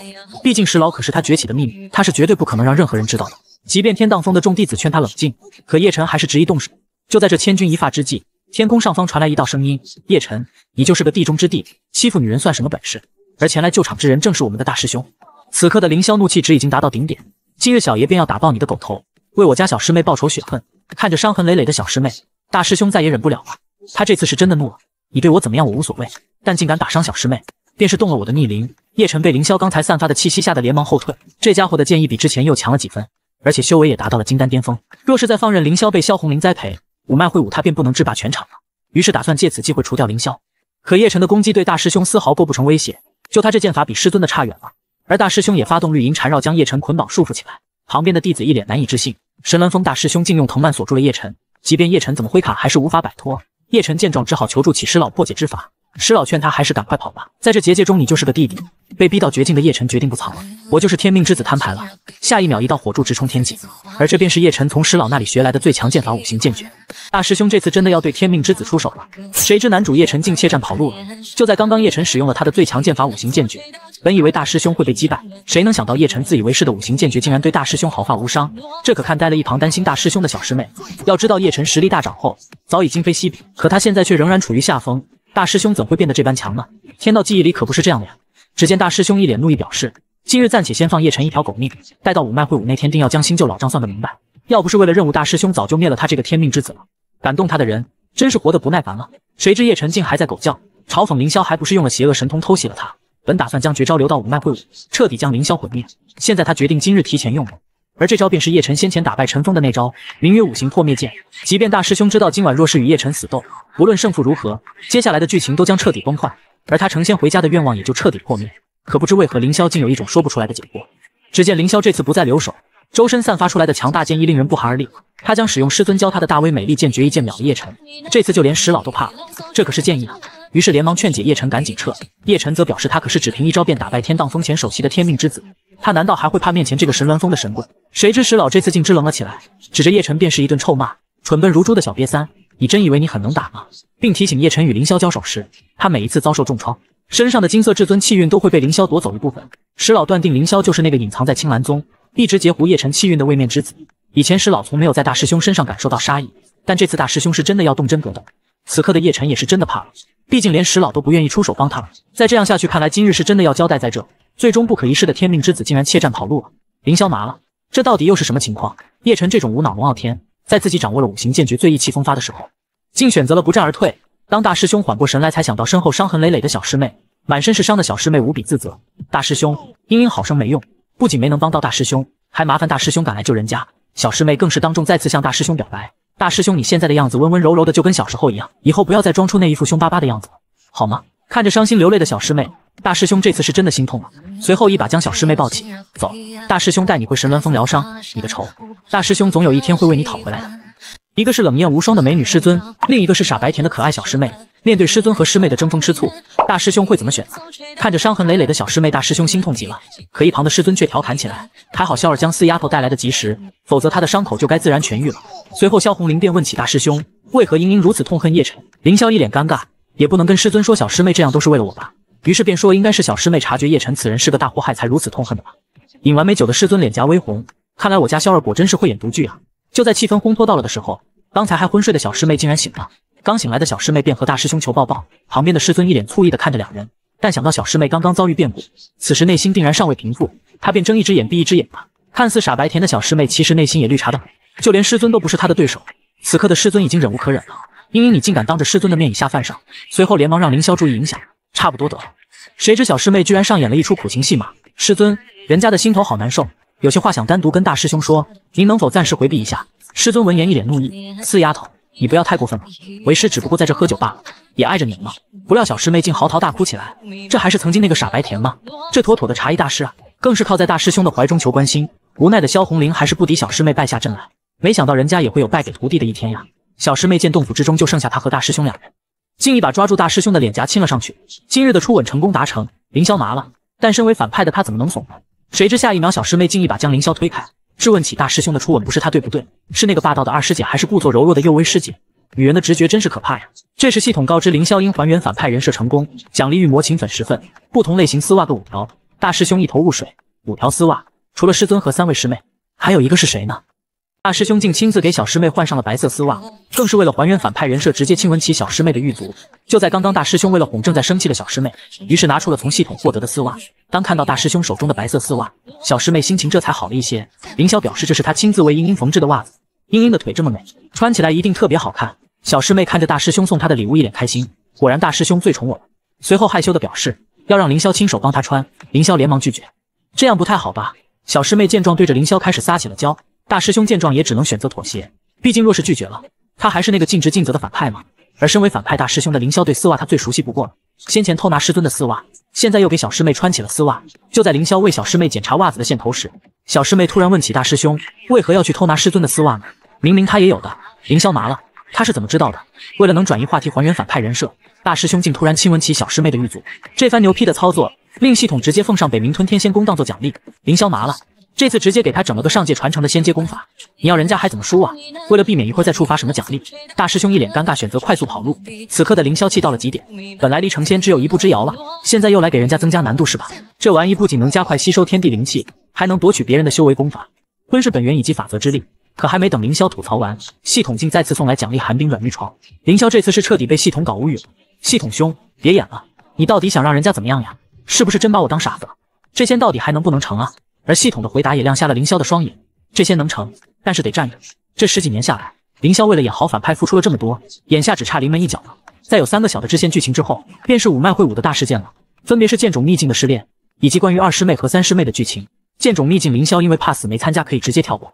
而他接下来的第二个支线任务就是三日后的炼丹早课，而这一周恰好由三师妹坐镇。原著中，凌霄在偷走师尊的绝天黑莲后，仍觉得不够稳健，于是便盯上了长老们的一品灵真丹，试图用此神丹快速提升实力。可当晚凌霄偷走那枚丹药后，就被主角叶晨安装在丹房里的留影师记录了下来。按照时间推算，第二个支线任务的时间刚好是三天之后。想到这里，凌霄一脸坏笑，只因三名师妹中三师妹是最好拿捏的。接下来看我们的大师兄如何一举拿下三师妹。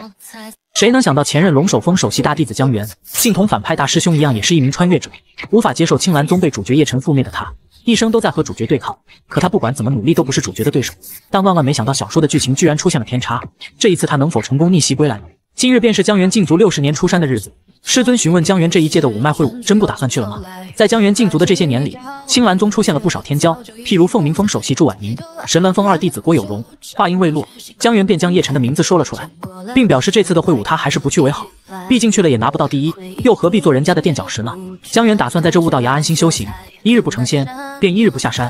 这可把师尊心痛坏了。他不理解自己的这个宝贝徒儿。为何这么在意那个刚刚入门一个月的叶晨呢？即便那个叶晨得了些什么机缘，也远远不是他爱徒的对手。可江源却告诉师尊，或许师尊觉得他已经够强了，但其实青兰宗的所有天骄都不过是叶晨的垫脚石罢了。结局已定，去与不去都已经不重要了。而且他现在还有更重要的事情需要他，那就是在五脉会武之后，天阴血魔便会破风。谁知师尊突然告诉江源，他最在意的那个叶晨。就在刚刚已经被神鸾峰首席凌霄给打败。江源闻言一脸难以置信。要知道主角叶晨可是气运无双的天命之子，他居然会败给一个不起眼的小喽啰手里。这时江源突然跪地祈求师尊能答应他一件事，而这也是这么多年江源再次唤紫云真人师尊，这可把师尊激动得热泪盈眶。江源表示他这些年不见外人，故意断绝宗门关系实属无奈，等他事成之后定将整件事情的来龙去脉如实相告。而师尊一直坚信江源的为人。并表示他能为其做些什么，而江源所求便是不久后开启的盘龙深渊的剑种，想要将剑种开启的日子放到五脉会武之后，到时候他也去剑种磨练一番。看着江源那无比诚恳的态度，想到这六十年江源所受的委屈，师尊答应了。师尊对他的关爱令江源感激涕零，他发誓不管前方的道路多么难走，他都要一路向前，永不退缩，即便燃尽生命也要守护师门。现在他唯一要做的便是变强，而在江源练剑十万次后。系统也再次给他发来奖励，可惜又是一本剑诀。江源深知以他现在法相境中期的修为完全不够，要是奖励是提升修为，那该多好啊！你们猜的没错，其实江源也是一名穿越者。八十年前，他以少年人的姿态穿越到这方世界，成为了为守护师门立战而亡的大弟子江源。在青兰宗，他感受到无比的快乐，所以他无法接受青兰宗被魔门覆灭的结局。而这一切的罪魁祸首便是主角叶晨。可惜，不管他怎么修炼变强，终究不是主角叶晨的对手。本以为自己穷极一生都改变不了宗门的命运，谁知命运的齿轮竟在慢慢发生偏差，这也让他重拾信心。江源发誓，这一次他定要王者归来，改变这一切。女王叶轩儿，她终于要来了，只是没想到叱咤风云的女王大人，小时候竟也对大师兄暗生情愫，更是对凌霄许下他日若为女帝，许君共掌九重天的誓言。刚刚醒来的大师兄心情无比舒畅。就在这时，怀真前来提醒，今日的早课是在龙首峰的炼丹房。大师兄问怀真是不是搞错了。今日不是剑种试炼吗？于是怀真便将剑种开启延后的事情告诉了大师兄。大师兄一脸蒙圈，五脉会武之后才开启，难道剧情又出现偏差了吗？无奈的凌霄也只能兵来将挡，水来土掩了。毕竟提前了也不妨碍他走剧情。此刻的龙首封丹塔内，重量级的丹药即将登场。长老于是将这个展示菩提凝真丹的重任交给了大师兄，并嘱咐凌霄展示完后一定要放回原位。而这枚丹药正是供给六圣以及诸位太上长老们的一品丹药，这正是原著里凌霄要偷丹药的剧情。可惜凌霄找了半天都没发现叶辰，主角不盯着，他还偷什么丹药啊？而系统则让凌霄只需还原好自己的人设剧情就行，至于其他的无需担心。殊不知大师兄的一举一动都被三师妹看在眼里，他这次无论如何都要阻止大师兄身败名裂。夜晚，大师兄正焦急等待着去打听叶辰消息的怀真，原来叶辰昨日被大师兄打得落荒而逃后。就去胖子老道的洞府中闭关修炼，至今未出。凌霄没想到这胖子反派居然让叶晨去他那里修炼，难道真把叶晨当自己人了？虽然剧情线有些偏离，但好在还有他这偷丹药的剧情。随后便换了身夜行衣，打算夜袭值守丹方的三师妹。而凌霄随身携带的玉佩不小心掉在了地上，看着这半枚玉佩，凌霄想到了他小时候那段甜甜的回忆。萧哥哥，谢谢你救了我。他日我若为女帝，许君共掌九重天。凌霄也不知他儿时要称霸西荒。逐鹿九州的梦想实现了吗？而叶辰这边正在胖子老道的洞府勤加修炼。石老提醒叶晨，这洞府充斥着邪煞之气，镇压着无数冤魂，那老道肯定藏着什么不可告人的秘密。可叶晨才没有那个闲心关心这些，他现在只想做一件事，那就是变强。如今留给他的时间已经不多了，他这次一定要在五脉会武上将凌霄打得如死狗一般，一雪前耻。而叶晨这次也早有准备，那就是他的妹妹叶轩儿。如今的叶轩儿已经率领八十万北川精骑，横扫三十三国，被北境共尊女皇。叶辰打算待五脉会武之后，便修书一封，让其带领大军前来。随后露出一脸猥琐的表情，哥哥期待着与轩儿相见呢。与此同时，叶轩儿正霸气地坐在王座之上。这时，一名手下前来禀报，原来是三年之约已到。叶晨希望叶轩儿七日之后率领三十万大军前往青兰宗一睹他的雄风。叶轩儿则认为七天时间太长了些，如今北境已全部臣服于他，此番正好可以借此机会杀回中州。叶轩儿之所以这么迫不及待地前往青兰宗，其实是为了去兑现他儿时与凌霄的承诺。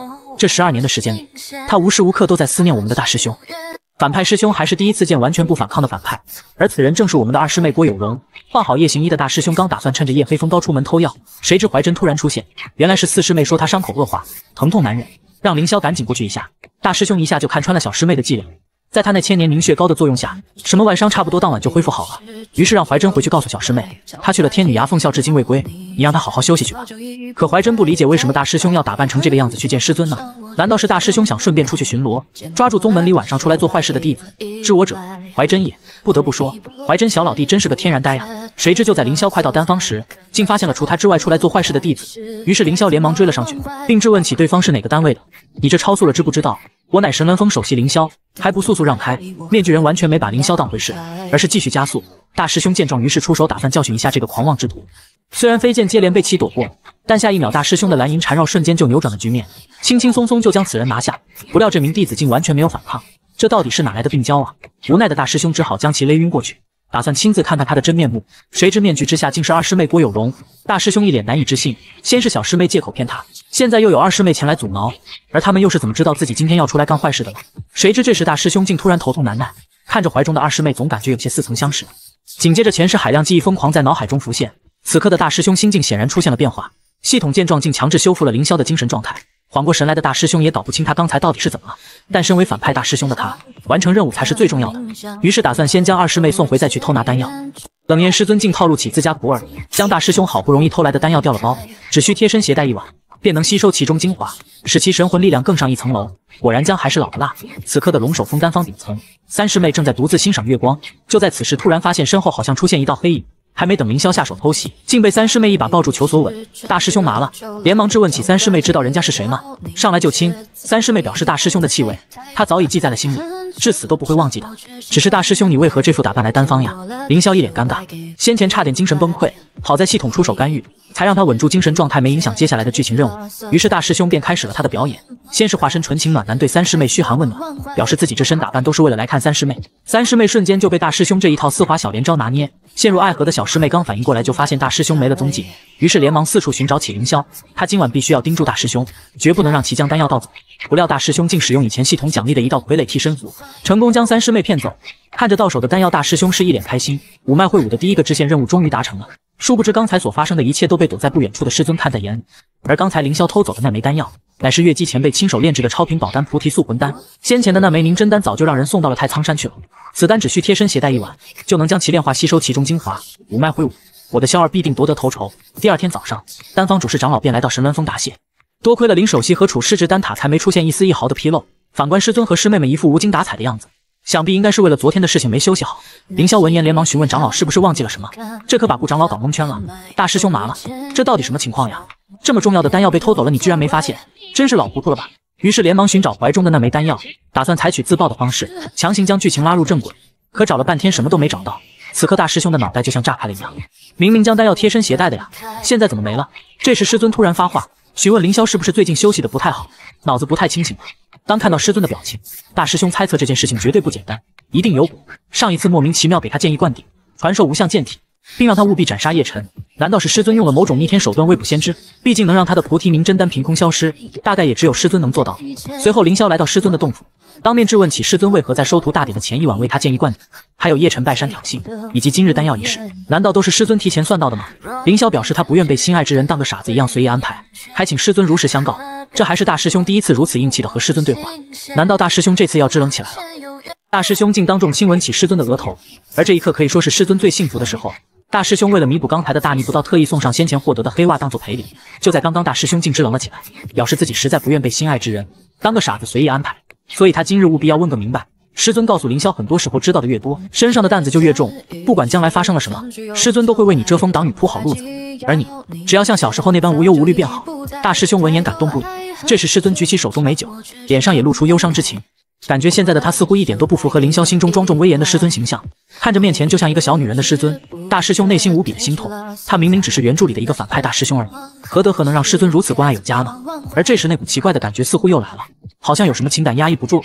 就在师尊愣神之际，大师兄竟下意识的亲吻起师尊的额头。完了完了，这下真的完了！我怎么会突然亲吻师尊呢？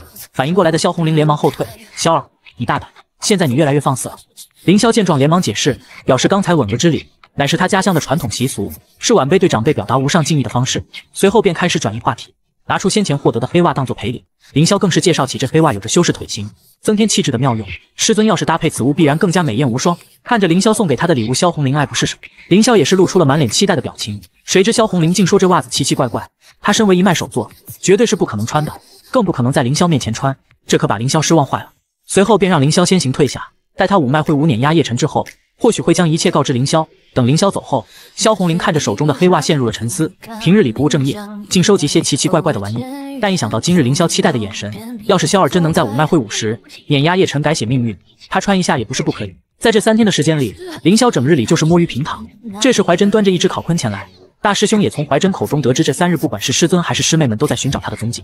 但好在凌霄事先吩咐怀真守口如瓶，虽然凌霄偷丹药的任务被系统放水，判定还原人设成功，但为了三天后关于二师妹的任务不再出现任何问题，所以凌霄才一直躲在宫殿里等待任务开启的时机。这时怀真疑惑地问起大师兄，为什么大师兄这几日都在观察这些牌子？原来这些都是宗门弟子的本命玉牌。由于宗门弟子要经常外出除魔卫道，因此需要通过这些玉牌与各地执行任务的弟子们沟通，方便掌握他们的动向。人死则牌碎。而刚刚碎掉的便是掌教真人的亲传弟子李浩阳，天赋实力也都是一等一的存在，这也说明苍兰城有大事发生。那便是接下来二师妹等弟子带队前往苍兰城抗击驱魔的支线任务。很快，掌教便发起了五脉首座会谈，各脉首座携自家首席弟子以及三名亲传弟子前往神霄宫。大师兄临走时再次嘱咐怀真，待五脉会武之后下山去做一个平凡人，逃走是他唯一的机会。此刻的怀真感动不已，他终于明白大师兄为何一直劝他离开青兰宗了。原来大师兄早已算尽了一切。看着大师兄散发着光芒的背影，怀真竟有些忽然不想走了。高冷师尊为了给反派师兄送行，竟特意换上了新皮肤。黑袜版的师尊真的好可爱啊！与此同时，摆烂了六十年的穿越者江源，这一次终于支棱了起来。魔剑六十年，他这柄太乙玄清剑也是时候该出鞘了。此刻龙首峰神霄宫大殿。紫云真人正在询问各脉首席可否到齐，分别是龙首峰首席徐正清、凤鸣峰首席祝婉莹、赤云峰首席王武，以及天命之子天荡峰首席叶辰。当叶辰一出场，变成了焦点，只因刚入门一个月的他就击败了前任首席陈峰，成为新的首席弟子。而最后一名姗姗来迟的，便是我们的反派大师兄神鸾峰首席凌霄。随着凌霄的到来，叶晨的风头瞬间就被抢走了。叶晨见状，于是指责起凌霄竟然在这般重要的场合迟到，还有没有将长老们放在眼里？大师兄随即嘲讽起叶晨，本首席迟到，自有长老们出言责备。你算老几也敢还老子？这时师尊赶忙打起了圆场，为凌霄求情开脱。叶晨无语到了极点，到底谁才是天命之子啊？他不理解为什么凌霄这个仙棍可以拥有这么强大又不等的师尊呢？对于这种微不足道的小插曲，长老们自然没有放在心上。大事在即，还是快些抽签吧。原著中叶晨拜入凤鸣峰，祝婉宁抽中了道自谦带队出发，叶晨作为队员随行。而现在随着剧情改写，抽中到自谦的分别是其他三封。凌霄是一脸无语，三番五次改剧情，这要他怎么圆回去啊？谁知就在此时，祝婉宁突然请缨，表示此番苍兰城之变。龙首峰的李浩洋师弟以及数十名弟子身陨道消，所以打算代替徐正清前往苍兰城。经过几位首座讨论，最终答应了祝婉宁的请求。而师尊也派给了凌霄两名师妹当做助手，分别派二师妹和三师妹与他一同前去。大师兄一脸开心，没想到会以这种方式回归剧情正轨，这波稳了呀！为何祝婉宁执意要前往苍兰城呢？只因他深知大师兄为了拯救宗门，独自抗击了那叶辰两次，所以这一次他定要与大师兄携手共战。阻止叶辰的阴谋，看着大家斗志昂扬、信心满满的样子，凌霄也是开心极了。终于剧情快要完结了，他这个小反派总算快要下线了。就在大师兄他们要出发时，师尊竟换上了新皮肤，特意来给凌霄送行，并提醒凌霄万事小心，一切以保命要紧。躲在不远处的小师妹内心无比忧伤，看着手中花费好长时间才编织出来的戒指，本想在离别前送给大师兄。可惜还是慢了一步，说好的只能英英一人独有呢。与此同时，江源正在师弟的坟前伤感，此刻的他内心无比自责，知道剧情走向的他却不敢阻止，而是选择躲在这悟道崖摆烂了六十年。如今随着凌霄的崛起，剧情已经发生了变故，江源决定提前出手，顺便再尝试一次夺走男主叶晨的机缘。就算是飞蛾扑火，他也要竭尽所能。晚天青救师门，保护青兰宗所有的师弟师妹们。此刻的江源一改往日颓废，磨剑六十年，为的就是这一刻。师妹之间的修罗场终于出现了，分别是火辣御姐的二师妹和温柔可爱的三师妹，两种不一样的风格，该选谁好呢？经过一天的奔波，凌霄他们已经到了距离苍兰城不远的落月镇了。这时三师妹发现大师兄脸色似乎不太好，于是两位师妹提议，如今天色已晚，不如就在前面的客栈住下。而且凤鸣峰的祝婉宁也已经带领弟子们进驻了落月镇，明日正好可以一同前往苍兰城。凌霄闻言一脸蒙圈，按照原著剧情发展，不应该是他这个慵懒大师兄嚷嚷着要住店吗？现在怎么他成被动了？到底我是反派，还是你们是反派啊？但好在最终路线是一致的。随后凌霄一行人便包下了整个客栈，打算好好休整一番。按照接下来的剧情，凌霄他们在这间客栈住下之后，第二日清晨便会出发启程，没走多远便会出现两条路，一条荆棘密布、阴森恐怖，有着魔道中人留下的印记。而另一条却是一马平川，阳光普照。身为一个欺软怕硬的反派，凌霄自然是抱紧二师妹的大腿，强迫他走第二条道路。而三师妹为了不辱师门使命，独自带领几名师妹选择了另一条道路。其实那条阴森恐怖的道路上什么都没有，只是魔门想要迷惑大家的假象。相反，那条阳关道却是危险重重，更是会遇到杀害李浩洋的真凶，八大魔门之一阴鬼教的尸魔道人。而凌霄这个不要脸的，竟在关键时刻将二师妹推了出去，自己跑路了。幸好二师妹实力高深莫测，和尸魔道人打个五五开。最后叶晨及时赶到，一剑将其灭杀，从而收获尸魔道人掉落的祖传至宝凝神珠。就在这时，怀真端着刚熬好的骨头汤来了。不得不说，怀真小老弟真的是太贤惠了。要是怀真是个妹子就好了呀。怀真一脸害羞，表示这些排骨食材都是三师姐弄来的，她只不过是借花献佛罢了。三师妹连忙邀请怀真过来，坐在大师兄旁边一起用膳。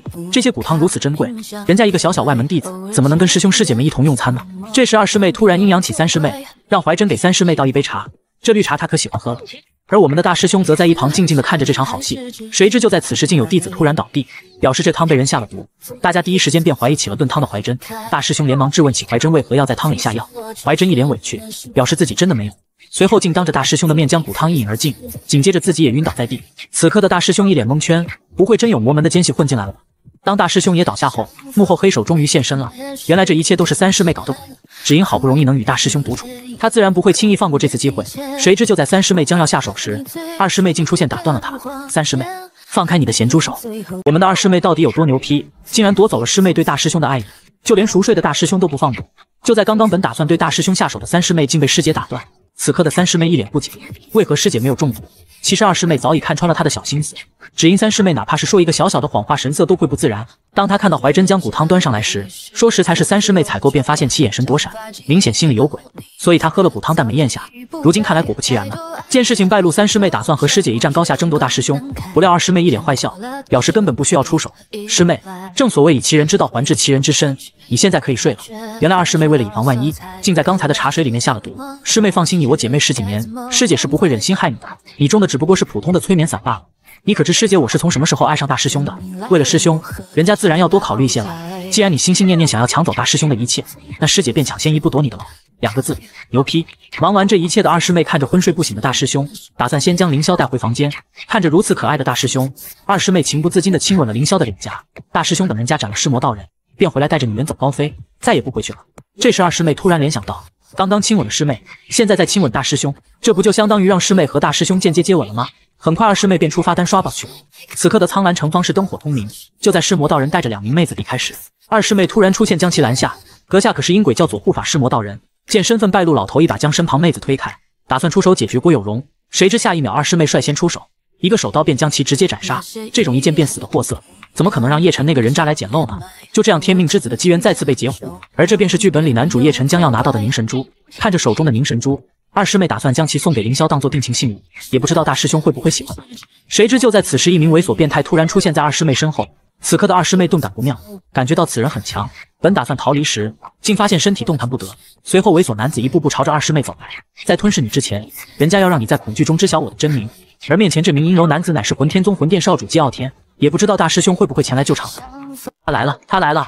我们的反派大师兄踏着七彩祥云赶来了，仅一剑便将欺负他师妹的变态轰成了渣渣。面对法相境的天音童子。这次大师兄义无反顾地挡在了师妹前面，师妹的安全由我来守护。看着一步步向他走来的姬傲天，二师妹这次是真的怕了。郭有荣啊，郭有荣，亏你自诩不凡，心高气傲，在这些杀人如麻的魔道恶徒面前，你只不过是温室里的花朵罢了。弱者怎配活在这方世界呢？小时候的凌霄不仅一直守护在他身边，更是一人斩尽了二师妹的仇人。从那一天。整日做噩梦的郭家孤女便消失了，取而代之的是那个战无不胜、力压同辈天骄的神鸾峰亲传二弟子。如今在这生死存亡之际，他是多么希望大师兄能来救救他！就在此时，助手二字响彻了整个苍兰城，而来人正是二师妹心心念念的大师兄。当姬傲天看到凌霄时，他慌了，只因他从凌霄身上感受到了前所未有的杀意。还没等他反应过来，便被凌霄一招从天而降的剑法轰成了渣渣。他怎么也没想到，大势已去的青兰宗竟还有这般牛批的人物。其实，在二师妹离开不久后，大师兄便醒了过来。只因身怀无相剑体，又有北冥真气护体的凌霄，岂会就这么轻易昏死过去？在得知二师妹要一个人闯进苍兰城后，凌霄深知其中凶险，因为那几个大 boss 都在里面。比起任务，凌霄更在意的还是二师妹的安全。但好在及时赶来，将二师妹成功救下。就在两人要离开此地时，虚空中突然出现一副诡异的嘴脸，下一秒，一个纸人便朝着他们猛地袭来。好在二师妹及时提醒，凌霄这才及时躲过攻击。而那纸人更是拥有法相境后期的修为，以纸人作为媒介施展鬼道神通。看来只有这位阴鬼教的左护法天阴童子。在原著的这个时间线上，八大魔门已然结成了同盟，密谋覆灭青兰宗，更是通过阴鬼教腐蚀污染的手段，将毒性蔓延整个青兰山脉，导致宗门弟子被邪气侵灼，从而境界大跌。为了守护青兰，保护师妹，大师兄决定拿出他真正的实力。师妹，你先后退。接下来，大师兄要开始展示真正的技术了。反派师兄竟当街骂起了天音童子，一句丑八怪，直接将其气得自爆身亡。这难道就是大师兄真正的技术吗？两个字，牛批。原著里天音童子原本不会这么快出场，可因为二师妹改变了剧情。提前一晚闯入了苍兰城，这才惊动了此人。以天音童子法相境巅峰的修为，想跨越一个大境界将其击败，就算是男主叶晨也不可能做到。但凌霄却知道天音童子有一个致命的弱点。只见大师兄缓缓走向天音童子，难道大师兄要展示他真正的技术了吗？师兄到底还藏着什么厉害的神通是我不知道的吗？只见凌霄深吸一口气，随后以一种极为嚣张的表情对着天音童子开骂：“什么狗屁天音童子魔门大护法，你就是歌姬而已。”就你也配在小爷面前叫嚣？这番牛批的操作着实惊呆了两人，而这也成功激怒了天音童子。他纵横魔道一百年，还从未有人敢这么如此与他讲话，而且还是一个不入流的金丹小厮。恼羞成怒的他放出纸人，便朝着凌霄袭去。二师妹本打算上前支援，却被大师兄拦下。毕竟，即便是他俩联手，也打不过这家伙。天音童子没想到凌霄区区金丹修为，不仅掌握了木系法则之力，还催生出了这等强大的本命神通，这也更加勾起要拿下凌霄的想法。看着如此恶心的小老头，凌霄也是无语到了极点。魔门的人都这么变态的吗？随后，凌霄便开始了长达两分半的嘴炮输出。令天音童子没想到的是，凌霄竟知道他的过去。原来，天音童子小时候因长得太丑，还是侏儒，被母亲无情抛弃。死后更是被天音老祖练成了鬼魁。天音童子威胁凌霄让其住口，反而让凌霄变本加厉，越骂越嗨。只因这天音童子血怒攻心，再也掌控不了天音血魔植入他体内的天音魔珠。很快便会被自身暴走的魔气吞噬殆尽。原著中，他就是在第二次镇魔大战中被小师妹活活骂死。最后一句丑八怪，更是气得天阴童子破防自爆身亡。这也看呆了一旁观战的二师妹，大师兄未免也太强了些吧。这时，二师妹连忙上前将本是叶辰的机缘双手奉上。据说这玩意能让神识通达，一念成佛，弹指间便能祭出法术神通，是原著中叶辰一直用到后期的先天至宝。看着手中的凝神珠，凌霄犯了难。要是想还原剧情，岂不是要将这玩意儿拱手让给叶辰？想想就有些不甘心。谁知不远处传来一道声音：“这位师弟，可否将这东西交于我？”而来人正是同凌霄一样穿越来的龙首峰前任首席江源。同为穿越者的两位师兄今日终于碰面。当江源得知面前之人正是那位暴打天命之子的凌霄后，不仅态度来了个大转变，更是在面对追击而来的三大之一的大巫主，义无反顾地倒在了凌霄前面。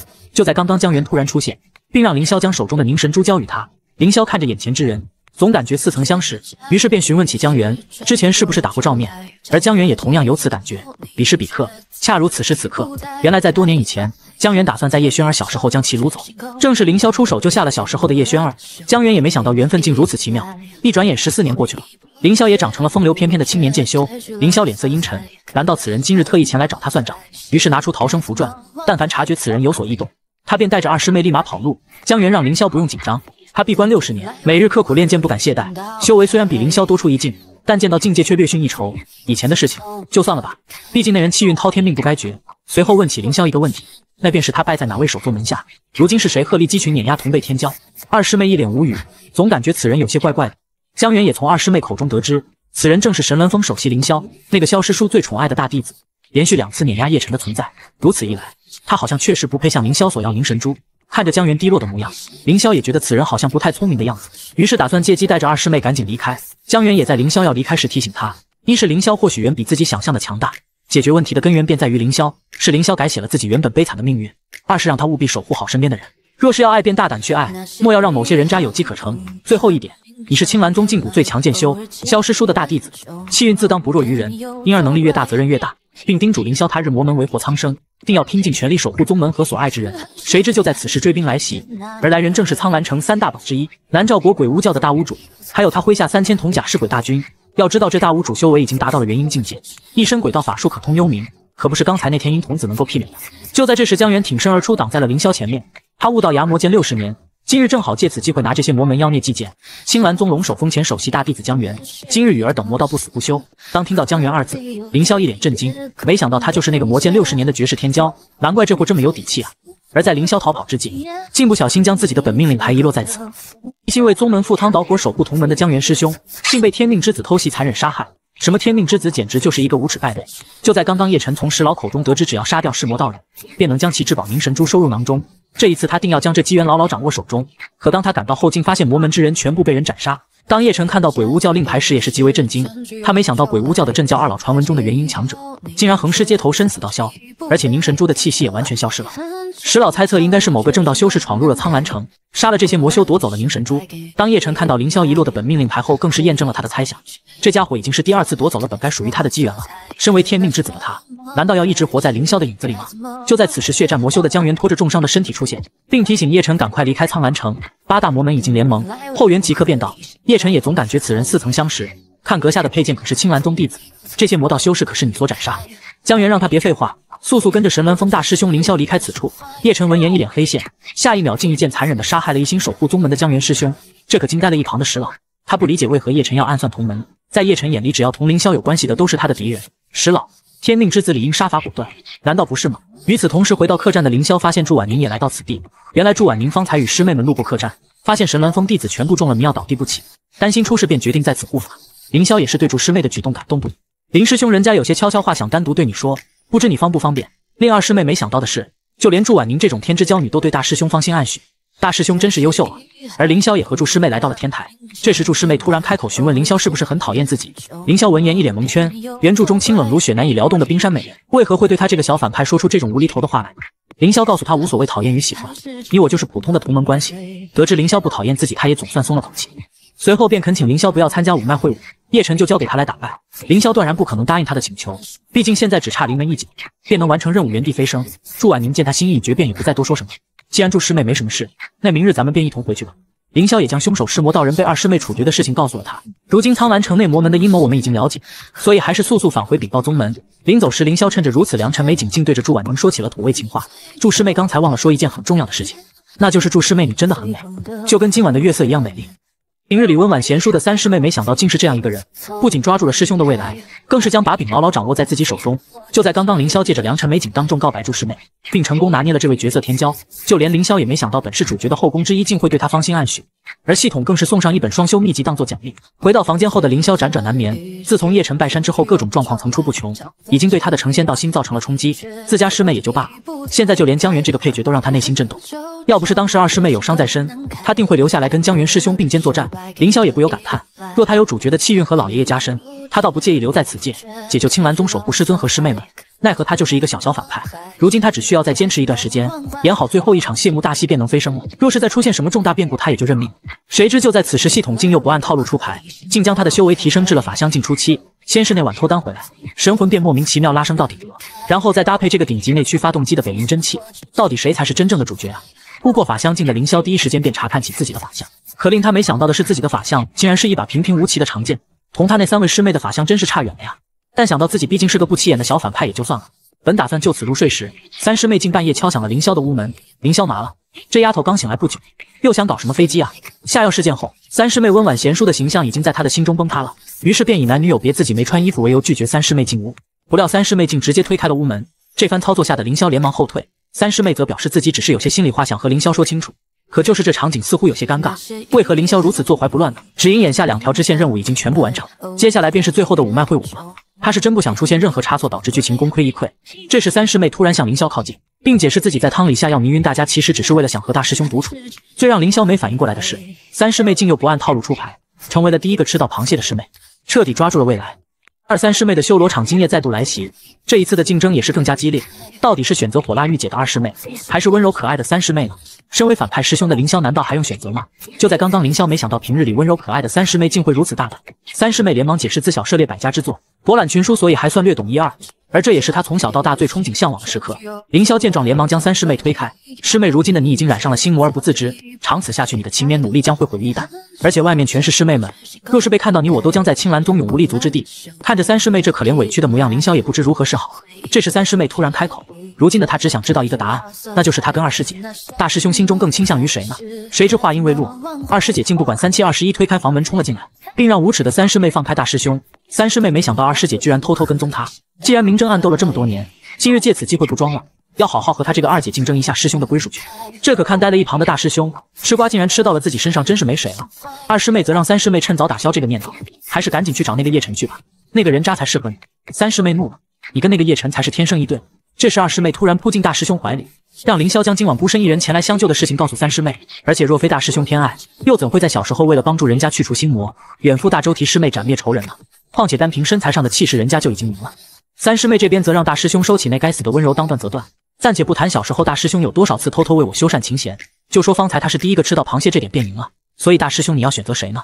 而此刻的大师兄并没回答，而是独自走到窗边看起了夜空，随后便开始了内心独白。此时此刻的师兄就如同那轮皎洁的月亮一般，照拂着宛如星辰的你们。只有我们大家在一起，才能组成一幅完整的夜景啊！所以师兄并不属于你们其中一个，而是属于整个宗门的。上一秒还在争风吃醋的二三师妹，下一秒就又成为了相亲相爱的一家人。没办法，身为一个天生的暖男，融化并交师妹们的内心，应该是最基本的义务吧。这一夜，三人如同小时候那般挤在一张床上并排而睡，气氛无比幽静美好。虽然凌霄美人入怀，但内心却是十分平静，只因此时此刻他久违的感受到了家的氛围。若你们不是女主，他也不是反派。或许真的可以在这里成立一个和谐幸福的大家庭，而凌霄也隐隐感觉到自己若再继续沉沦下去，迎接他的将会是万劫不复，就好像他已经经历过无数次一样。可即便如此，那又何妨呢？可爱呆萌的小师妹竟特意穿上了白色裤袜，迎接大师兄凯旋而归。果然还是小师妹最懂大师兄的心思。清晨起床，凌霄就感觉肩膀差点报废，还是自己单身一人比较好啊。这时祝婉宁突然前来禀报，林师兄昨夜城中爆发了一场惨烈的正邪大战，死了上千名魔门弟子。并且那鬼巫教的大巫主死后，城中剩余魔门余孽全部退出了城内。凌霄也从祝婉宁口中得知，并未见到有正道中人的尸首。不过听闻有一名穿着青蓝宗服饰的男子，浑身浴血提剑走出了城门。凌霄悬着的心这才松了一口气。他没想到江元师兄竟这么猛，连元婴境界的大巫主都被他斩灭。根据原著提示，八大魔门计划通过污染青兰宗周边分支灵脉，从而使毒性蔓延到本山灵脉。如今提前破坏这个计划，想必应该能让青兰宗减少伤亡。接下来的两日，凌霄率领师妹们找到了被污染的分支灵脉，并将之一分为二，从而切断了青兰宗本山灵脉的联系。可令凌霄没想到的是，他这两位师妹料事如神，竟然精准找到了污染源头。而祝婉宁更是霸气的以一己之力焚毁了尸毒源头。见此情形，凌霄再结合先前的一些事情，他心中已经生出了大胆的猜想。解决完这一切事情后，凌霄他们终于凯旋而归，回到了师门复命。祝婉宁也就此告辞离开。就在凌霄要返回神鸾峰时，小师妹突然出现，来到宗门口迎接大师兄的归来。凌霄也是欣喜若狂。离开的时候都没来得及跟他道别，我这个大师兄当的真是不称职啊！当凌霄抱紧小师妹时，竟发现小师妹居然又穿上了那条白色裤袜。师妹你是真行啊！二三师妹看到这一幕，差点原地爆炸，于是达成了联盟。怎么也不能让小师妹先得手啊！达成统一战线的两人第一时间便制止了小师妹的行为。小师妹，你先回去吧，等大师兄忙完正事就去找你。毕竟这种场面要是不赶紧闪人，怕是会被师妹们刀死啊！谁知小师妹又开始了卖惨表演，就因为人家是个小傻瓜，所以才不配得到大师兄的宠爱吗？若不是人家先前被那个人渣叶晨打伤，就也能跟着大师兄一同出征了。而这番卖惨下来，也是令两位师妹不由心痛起来。虽然我们俩无论怎么争风吃醋，可祸不及这位天真无邪的小师妹啊！毕竟一个天真懵懂的小师妹能有什么坏心思呢？最终还是影后陆茵茵略胜一筹，从师姐手中抢走了大师兄。看着许久不见的小师妹凌霄也是十分开心。这时小师妹一脸天真无邪的看着凌霄，表示自己乖乖等了大师兄这么久，大师兄是不是该给茵茵些奖励呢？并教小师妹竟要大师兄当众亲吻她的玉足，但却被大师兄直接拒绝，只因我堂堂神鸾峰首席大弟子，怎么能对傻白甜的小师妹做出这种事情？不行，绝对不行！此时与大师兄独处的小师妹正在花痴的看着凌霄。茵茵乖乖等了大师兄这么久，大师兄不给茵茵些奖励吗？此刻的凌霄虽然很想给小师妹一些宠溺，但为了以防剧情偏离，于是一本正经的表示：大师兄可以宠你，但不能没有限度。譬如，身为兄长，大师兄可以亲吻你的脸颊、额头，这是长辈对晚辈的爱。但是嘴对嘴是绝对不可以的。小师妹十分心痛，明明她那一次在莲花洞府亲吻大师兄的时候，大师兄你不也没拒绝吗？凌霄麻了。表示那一次是看他被叶晨打伤，不忍心拒绝而已。收手吧，英英，你眼下正是青春年华，这些情情爱爱不适合你。凌霄深知在他成仙飞升之前，有必要将小师妹拉回正轨，以免误入歧途。当然，最大的原因就是他确实有些挡不住小师妹的攻势了。可小师妹还是不愿放弃，翻出了他给凌霄做的草戒，并对着大师兄深情告白。小时候的凌霄为了帮他除去心魔，独自斩了那头妖兽，这些他都一直记在心里。凌霄表示这些都是小事，茵茵现在已经是一名优秀的御兽师了。大师兄很欣慰，小师妹却在这时告诉凌霄。在他的家乡已近及笄之年的女孩子，主动送给男孩子亲手做的戒指，便意味着放心已许，至死不渝。若是男孩子不答应的话，女孩子便会孤独终老，终身不嫁，或者杀死自己的意中人，然后再自我了断，这样他们就永远在一起。凌霄闻言直接亚麻呆住了，这特喵的是什么扭曲的爱慕啊！小师妹连忙解释，绝对不会伤害大师兄的，而且这枚天心戒，他原本打算在大师兄出发苍兰城前送给师兄。凌霄见小师妹如此用心良苦，赶忙安慰，但他一想到自己收了这枚戒指，万一成仙离开后，自己岂不要背上一个渣男的骂名？除非是五脉会武时出现意外，于是他便已过几日五脉会武时，待他打爆叶晨的狗头后再议。小师妹见状也不再多说什么，即便按照天道记忆里的事件发生，大师兄最后被送往思过崖，她也愿意化作一道光，温暖融入大师兄的身体。只要能和大师兄在一起，一辈子待在思过崖又何妨？这时小师妹突然起身，很严肃地询问凌霄喜不喜欢她。凌霄表示那是自然。谁知小师妹竟害羞地坐在桌子上，表示想让凌霄跪下亲吻她的玉足。凌霄一时不知如何是好，身为反派的他到底要怎么办呢？经过短暂的思想斗争后，凌霄表示，他身为神鸾峰首席大弟子，堂堂八尺男儿，怎能任由你这小丫头摆布呢？你以为你是师尊呀？还请这位小日子师妹冷静一些。见大师兄如此不解风情，小师妹又开始了卖惨表演。凌霄麻了，没想到自己也有被拿捏的一天。最终大师兄还是妥协了。高冷师尊为了迎接反派师兄凯旋而归，竟特意换上了黑色长袜。而这哇塞的一幕也恰巧被大师兄看得一清二楚。师尊，徒儿真的什么也没看到。就在刚刚，凌霄跪舔完小师妹的玉足后，来到河边清洗，而这也给他造成了极大的心理阴影。这时，凌霄突然想到，小师妹方才问他尸魔道人是不是被叶晨斩杀，小师妹是怎么知道尸魔道人的呢？况且不只是他，就连二三师妹和祝婉宁在内，在这一次除魔行动中表现的都很反常。再加上先前他做的坏事都阴差阳错反转，结合种种表现，凌霄猜测他们或许也是重生者，亦或者是同他一样掌握了剧本的穿越者。虽然凌霄现在不敢百分百确定。但如今所有支线剧情已经完成，接下来就看五脉会武上他们会如何表现了。凌霄这几日不见师尊，也甚是想念。安抚完了小师妹，便到了尽孝道的时候了。与此同时，师尊也在为凌霄担心。毕竟按照天道剧本的描述，有容也该杀了尸魔道人回来复命。为了不影响剧情走向，他这次并没有干预，但内心还是十分担心凌霄的安危。即便破坏天道预言，他也不能让凌霄受到一丝伤害。就在他打算前去出门寻找凌霄时，竟看到了先前凌霄送给他的黑袜。我穿这个去见他。他会不会很高兴呢？谁知就在师尊穿袜时，凌霄竟突然推门进来，这羞耻的一幕也被凌霄尽收眼底。凌霄没想到师尊竟也对他送的黑袜情有独钟，原来师尊内心也有这么病娇的一面。为了缓解尴尬，凌霄表示自己刚才什么都没看到。可师尊又岂会信他的鬼话呢？只见师尊心念一动，便将凌霄带进了他的神识空间。而接下来迎接凌霄的便是和师尊的练剑环节。在经过两个半小时的军训后，此刻的凌霄累得差点没原地归西。而他也在和师尊的对决中，将自身剑道修为大幅提升。一想到自己现在强的一批，凌霄的脑袋就像炸开了一样。明天叶晨还怎么跟他打呀？而师尊也对凌霄的表现很是满意，不仅修为踏入了法相境，就连剑法都更加精进了。为师果然没有看错人，萧二果然是万中无一的剑修天才。谁知就在此时，萧红林竟然进入了凌霄的神识。此刻的凌霄一脸懵批：师尊怎么了？原来是凌霄的法相，就连萧红林都感受到了恐怖的气息。他总觉得在哪里见过。或许是他关心则乱。现在的凌霄在青蓝宗年轻一辈中，能打得过他的不超过三人。而凌霄实力飙升和叶辰不无关系，可以说是全拜这个主角所赐。只因在叶辰拜山之前，他的修为十几年都在原地踏步。可叶辰入门短短一个多月，他就一路飙升到了法相境。而且女主们的行为也变得异常。凌霄为了在飞升前不留遗憾，打算借此时机向师尊深情告白。可平常身为海王的他，对师妹很容易说出来的话，却唯独对师尊说不出口。也就在这时，宗门突发急令，由于魔门蠢蠢欲动，正魔两派形势紧张，本届五脉会五十日提前，明日正午正式开始。而且东域其余两大正道宗门也会派出首席圣女佛子前来观瞻。我去，这场面是不是有些大了些啊？天命之子竟然独占了江源的功劳！这种残害同门、抢走别人功劳的小人，就连石老都对之嗤之以鼻，不屑与之为伍。就在刚刚，凌霄听到明日就要进行五脉会武后，内心也是百感交集。师尊则让凌霄不必担心，明日与叶晨对战，他只需全力以赴即可，其他的由师尊一肩扛之。师尊也在这时问起刚刚凌霄想要说什么，不管有何要求，他都会尽力满足。凌霄也在这时鼓起勇气说出了他内心尘封已久所想：师尊，这十几年徒儿劳您养育成人，呵护关照，却从未对你说过一声谢谢。今日凌霄在这里，请师尊受我一拜。并叮嘱师尊，他不在了以后，要务必照顾好自己，伤身的酒要少喝，莲花洞府的花草也要勤打理。而且他已经将师尊最爱吃他做的翠酥灵芝糕交给了王执事。还没等凌霄说完，便被师尊打断。此刻萧红林的内心虽然很是感动，但却又有几分忧伤。他强忍着泪水，表示刚才凌霄所说才不是他想听到的。随后转过头去，并让凌霄明日在五脉会武上把叶晨揍成猪头，然后再老老实实回到他的身边。而凌霄这边同样也是伤感无比。他不想走的念头还从未有过如此强烈。果然，这诺达的青鸾宗最在意的还是师尊。为了不给凌霄压力，萧红林告诉凌霄，明日之战，即便他落败，也永远是他的徒儿。但是这种莫名其妙的话，以后不许再说了。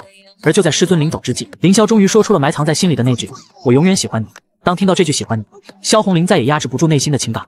其实他又何尝不是呢？但萧儿所说的喜欢你，真的是我理解的那个意思吗？亲手养大的徒儿，我真是太不守师道了呀！想到这里，他便羞答答地跑回了莲花洞府。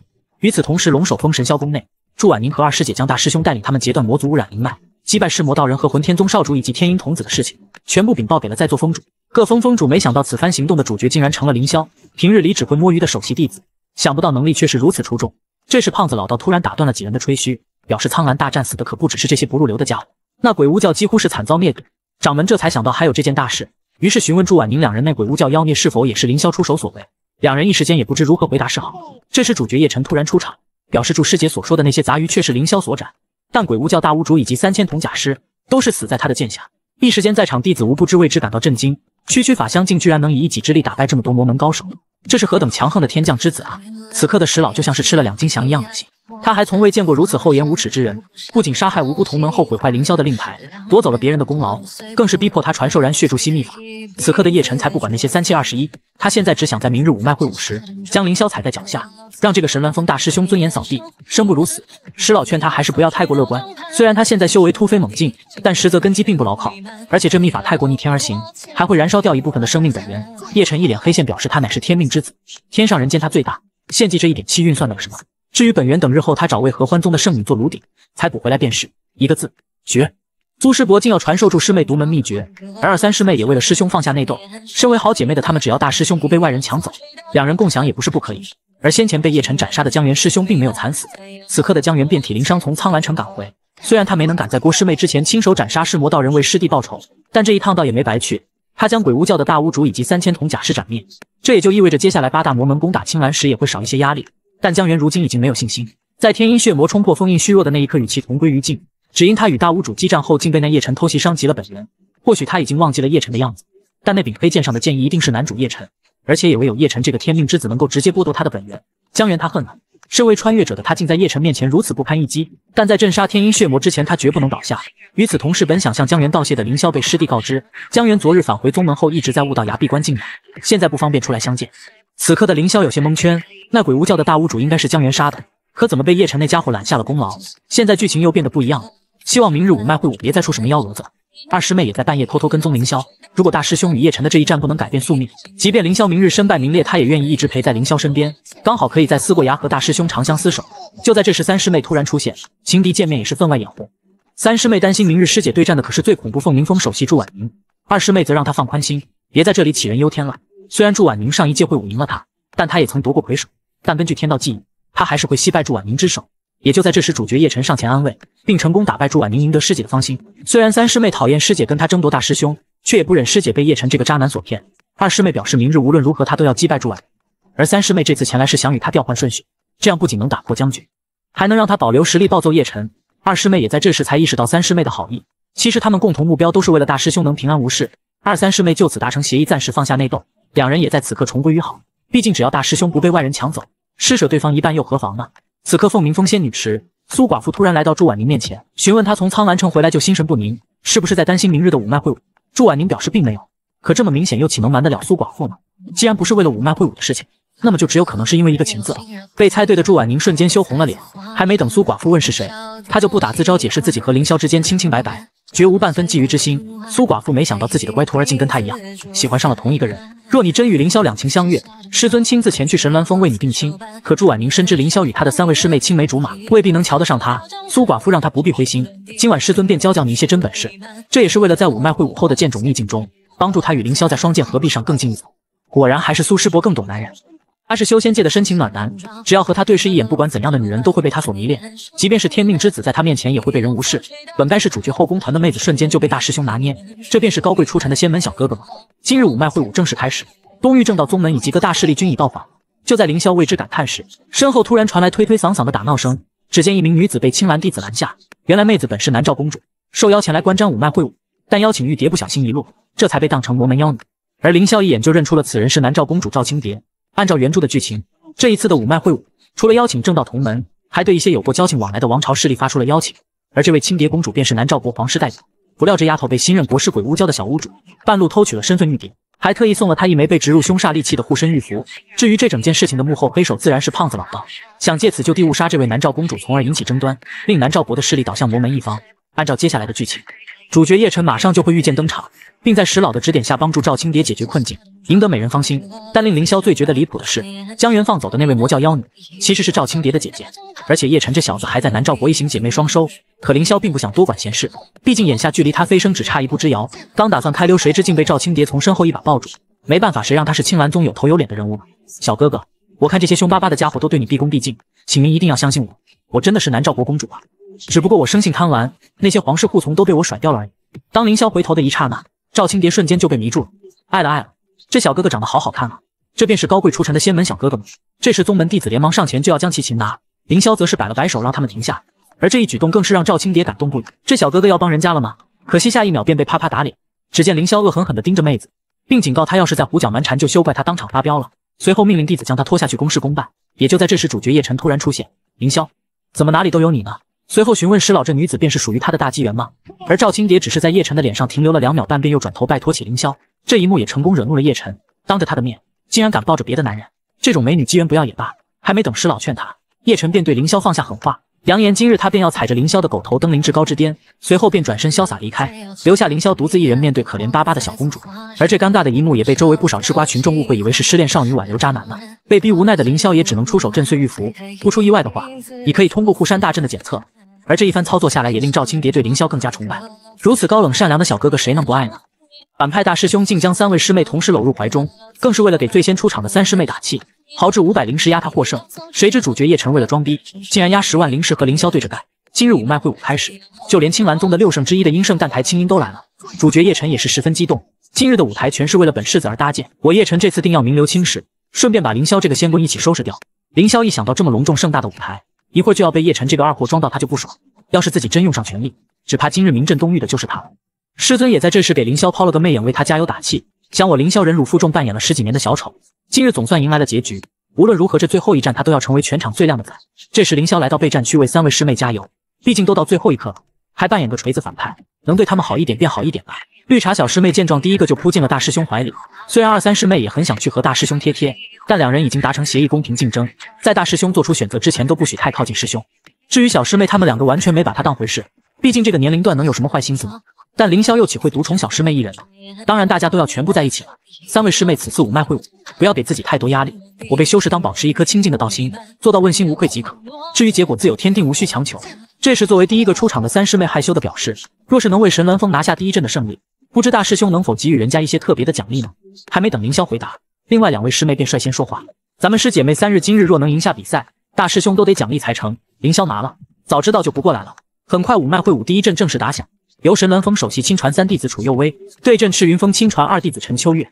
而陈秋月这霸气的出场方式也令下方弟子很是看好。都在传言她是赤松首席的秘密武器，打算一血前耻夺下头盔。相比三师妹的出场方式就有些截然不同，气势上更是拉了太多。这番温柔做派怎么能跟煞气冲天的陈秋月较量？殊不知按照原著剧情，三师妹在激战数十招之后便轻松拿下了陈秋月。与此同时，长老那边也开盘了，众人首选肯定是赤云峰的黑马陈秋月，纷纷压他获胜。按照原著剧情，本该是叶晨帮赵青蝶解决麻烦后，叶晨向他借了些银子，在石老的指点下，全买了三师妹，最后赚得盆满钵满。可现在剧情被他横插一脚。也不知道接下来会怎样了。这时凌霄从人群中叫住正要下注的怀真，还没等怀真反应过来，凌霄便高喊他要买五百灵石。神鸾峰弟子楚佑为五十到一百回合击败对手，自家师妹必须要支持一下。一旁的叶晨则嘲讽凌霄还敢买回合，也不怕把裤子输掉，关你屁事！给小爷滚！长老也是被凌霄这魄力所折服，但是比起他的师尊可还差远了。五万灵石十回合以内取胜，还得是师尊啊！青鸾宗第一富婆可不是浪得虚名的。可惜师尊这次怕是要输麻了，三师妹可是用了五十回合才获胜的呀。此刻怀真的心正在滴血，这可是他的全部身家呀。看着凌霄这嘚瑟样，本想听石老埋楚又为胜出，但人活一口气，他就是要和凌霄对着干。本世子压十万灵石，陈秋月胜。谁能想到屡次战胜天命之子的大师兄，唯独在压住上次次吃瘪。深知剧本的他本想在五脉会武上大赚一笔，怎料不仅将怀真的全部家当输光，就连南诏公主借他的十万灵石都瞬间亏空。这就是所谓的小赌怡情，大赌伤身啊！就在刚刚，三师妹和陈秋月的大战正式打响。陈秋月上来就是他赤云峰的绝招穿云破雨剑法，反观三师妹动作依旧还是那么优雅。就在大家以为胜负已分，庆幸自己将全部身家压了陈秋月时，三师妹只是轻轻扫了下琴弦，便将陈秋月击退。随后轰的一声，陈秋月就这么败北。众人一脸难以置信，魔剑五年的赤云峰首席以及长老无数心力的黑马，就这样一招击溃了。完了，灵石都输没了，我要去跳藏剑谷了。就连赤云峰首座都不敢相信，他呕心沥血培养的弟子就这么输了。三弟子楚佑威尚且如此，那二弟子郭有荣又该是何等恐怖？此刻的大师兄脑袋就像炸开了一样。三师妹竟然提前练成了是新魔音的最后一重极煞天魔音。原著剧情中期，三师妹为了帮助叶晨攻下大周皇城，才不惜燃烧自身精元，练成这一招毁天灭地之能的绝技。如今三师妹怎么会在这个时间点提前练成极煞天魔音呢？真是搞不懂啊！其实，在五脉会武前夕，三师妹为了能在大比施斩灭叶晨，特意请教青音尊者为她解惑，助她练成极煞天魔音。要知道，三师妹可是人间千古难遇的琴心剑魄，倘若习练正法阴功，只需十年光阴，便能真至琴剑合一的至高境界。如今为了大师兄，竟选择速成对自己肉身伤害极大的是心魔音，只因大师兄是三师妹心中那道最温柔的光。为了大师兄，一切都是值得的。这时，怀真还在傻傻的认为三师姐赢了，他们刚才下的注岂不是赚大了？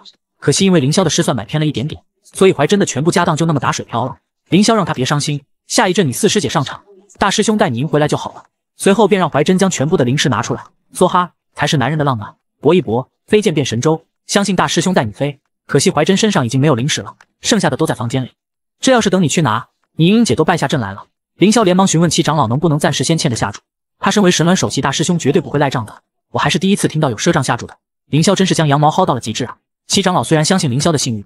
但他要是开了这个仙盒，以后他还怎样坐庄呢？不如去找你家师尊云点仙，毕竟萧首座刚才赢了大钱，而凌霄这番操作也引来旁边叶晨的嘲讽，这点小钱都输不起。你若今日下跪求本首席，我叶晨便帮你下注翻身。凌霄内心恶心极了，这嚣张的德行也太欠打了吧！一度让凌霄怀疑他俩到底谁才是反派。谁知这时南诏国公主赵青蝶突然出现，并表示愿意借给凌霄灵石。有了小富婆的助力，凌霄一下子就支棱了起来，直接下注十万灵石买小师妹败北。谁知一个时辰后，命运的齿轮再次给凌霄开了个玩笑。第二轮对决，神鸾峰陆英英胜，两位天之娇女的对阵终于打响。明明祝婉宁可以提早一剑刺中郭有容取得胜利，但她却为了凌霄选择了打假赛。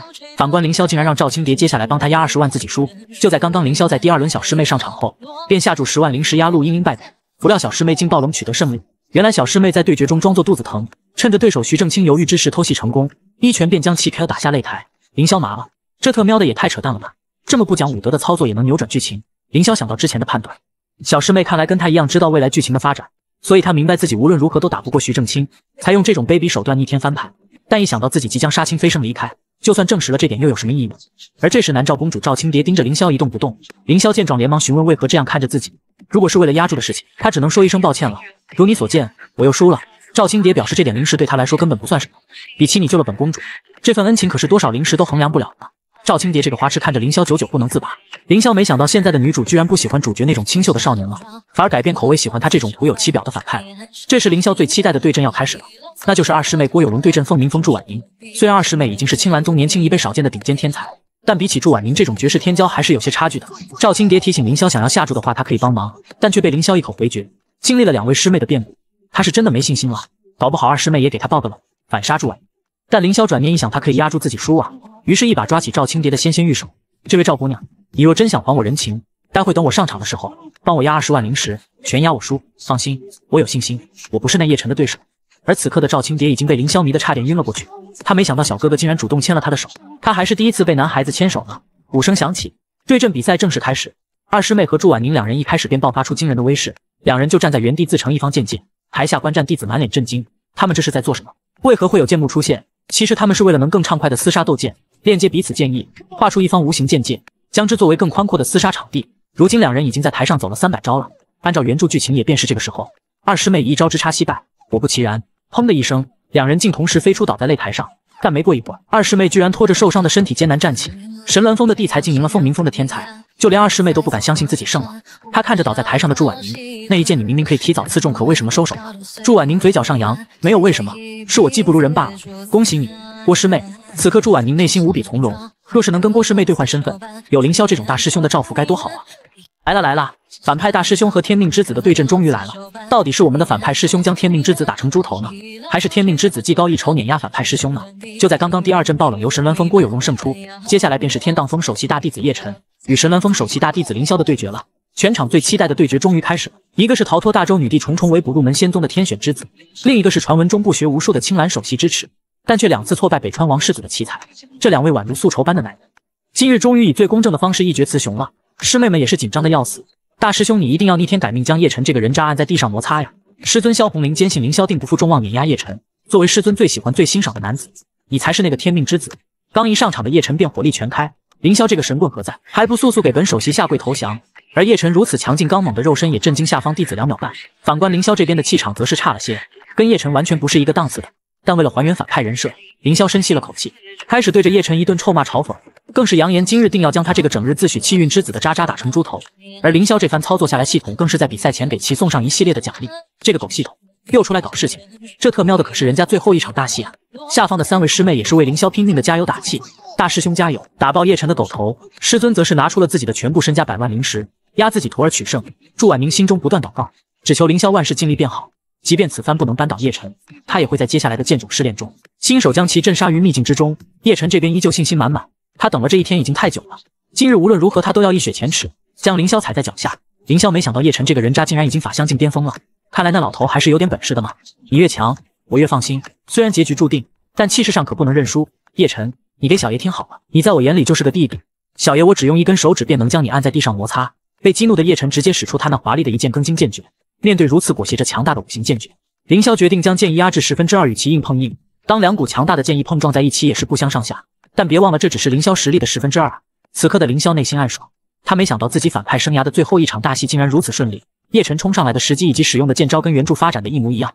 按照剧情发展，凌霄将被逼到穷途末路，狂性大发，祭出从师尊偷盗出来的禁忌法宝绝天黑莲。叶晨会暂时受挫，最后使出终极必杀技五行破灭剑诀，然后他会在被五行破灭剑诀吞噬的最后关头，被美人师尊救场自动认输。接下来他的盗窃之罪也会被公之于众，被师尊无情囚禁于思过崖。叶晨好大，快点来帮助爸爸成就红尘仙位吧！但凌霄一想到他就要离开此界，离开深深爱着的师妹师尊们，他心中便隐隐作痛，以后再也见不到师尊那张绝美天颜，以及那世间绝无仅有的美腿。看到凌霄在他面前如同蝼蚁一般，叶晨就更加膨胀起来。石老，你看看，这便是你一直忌惮魏格与我不相上下的存在吗？就这副德行，给我提鞋都不配。他就是个不折不扣的废物而已。凌霄今日便是你的死期。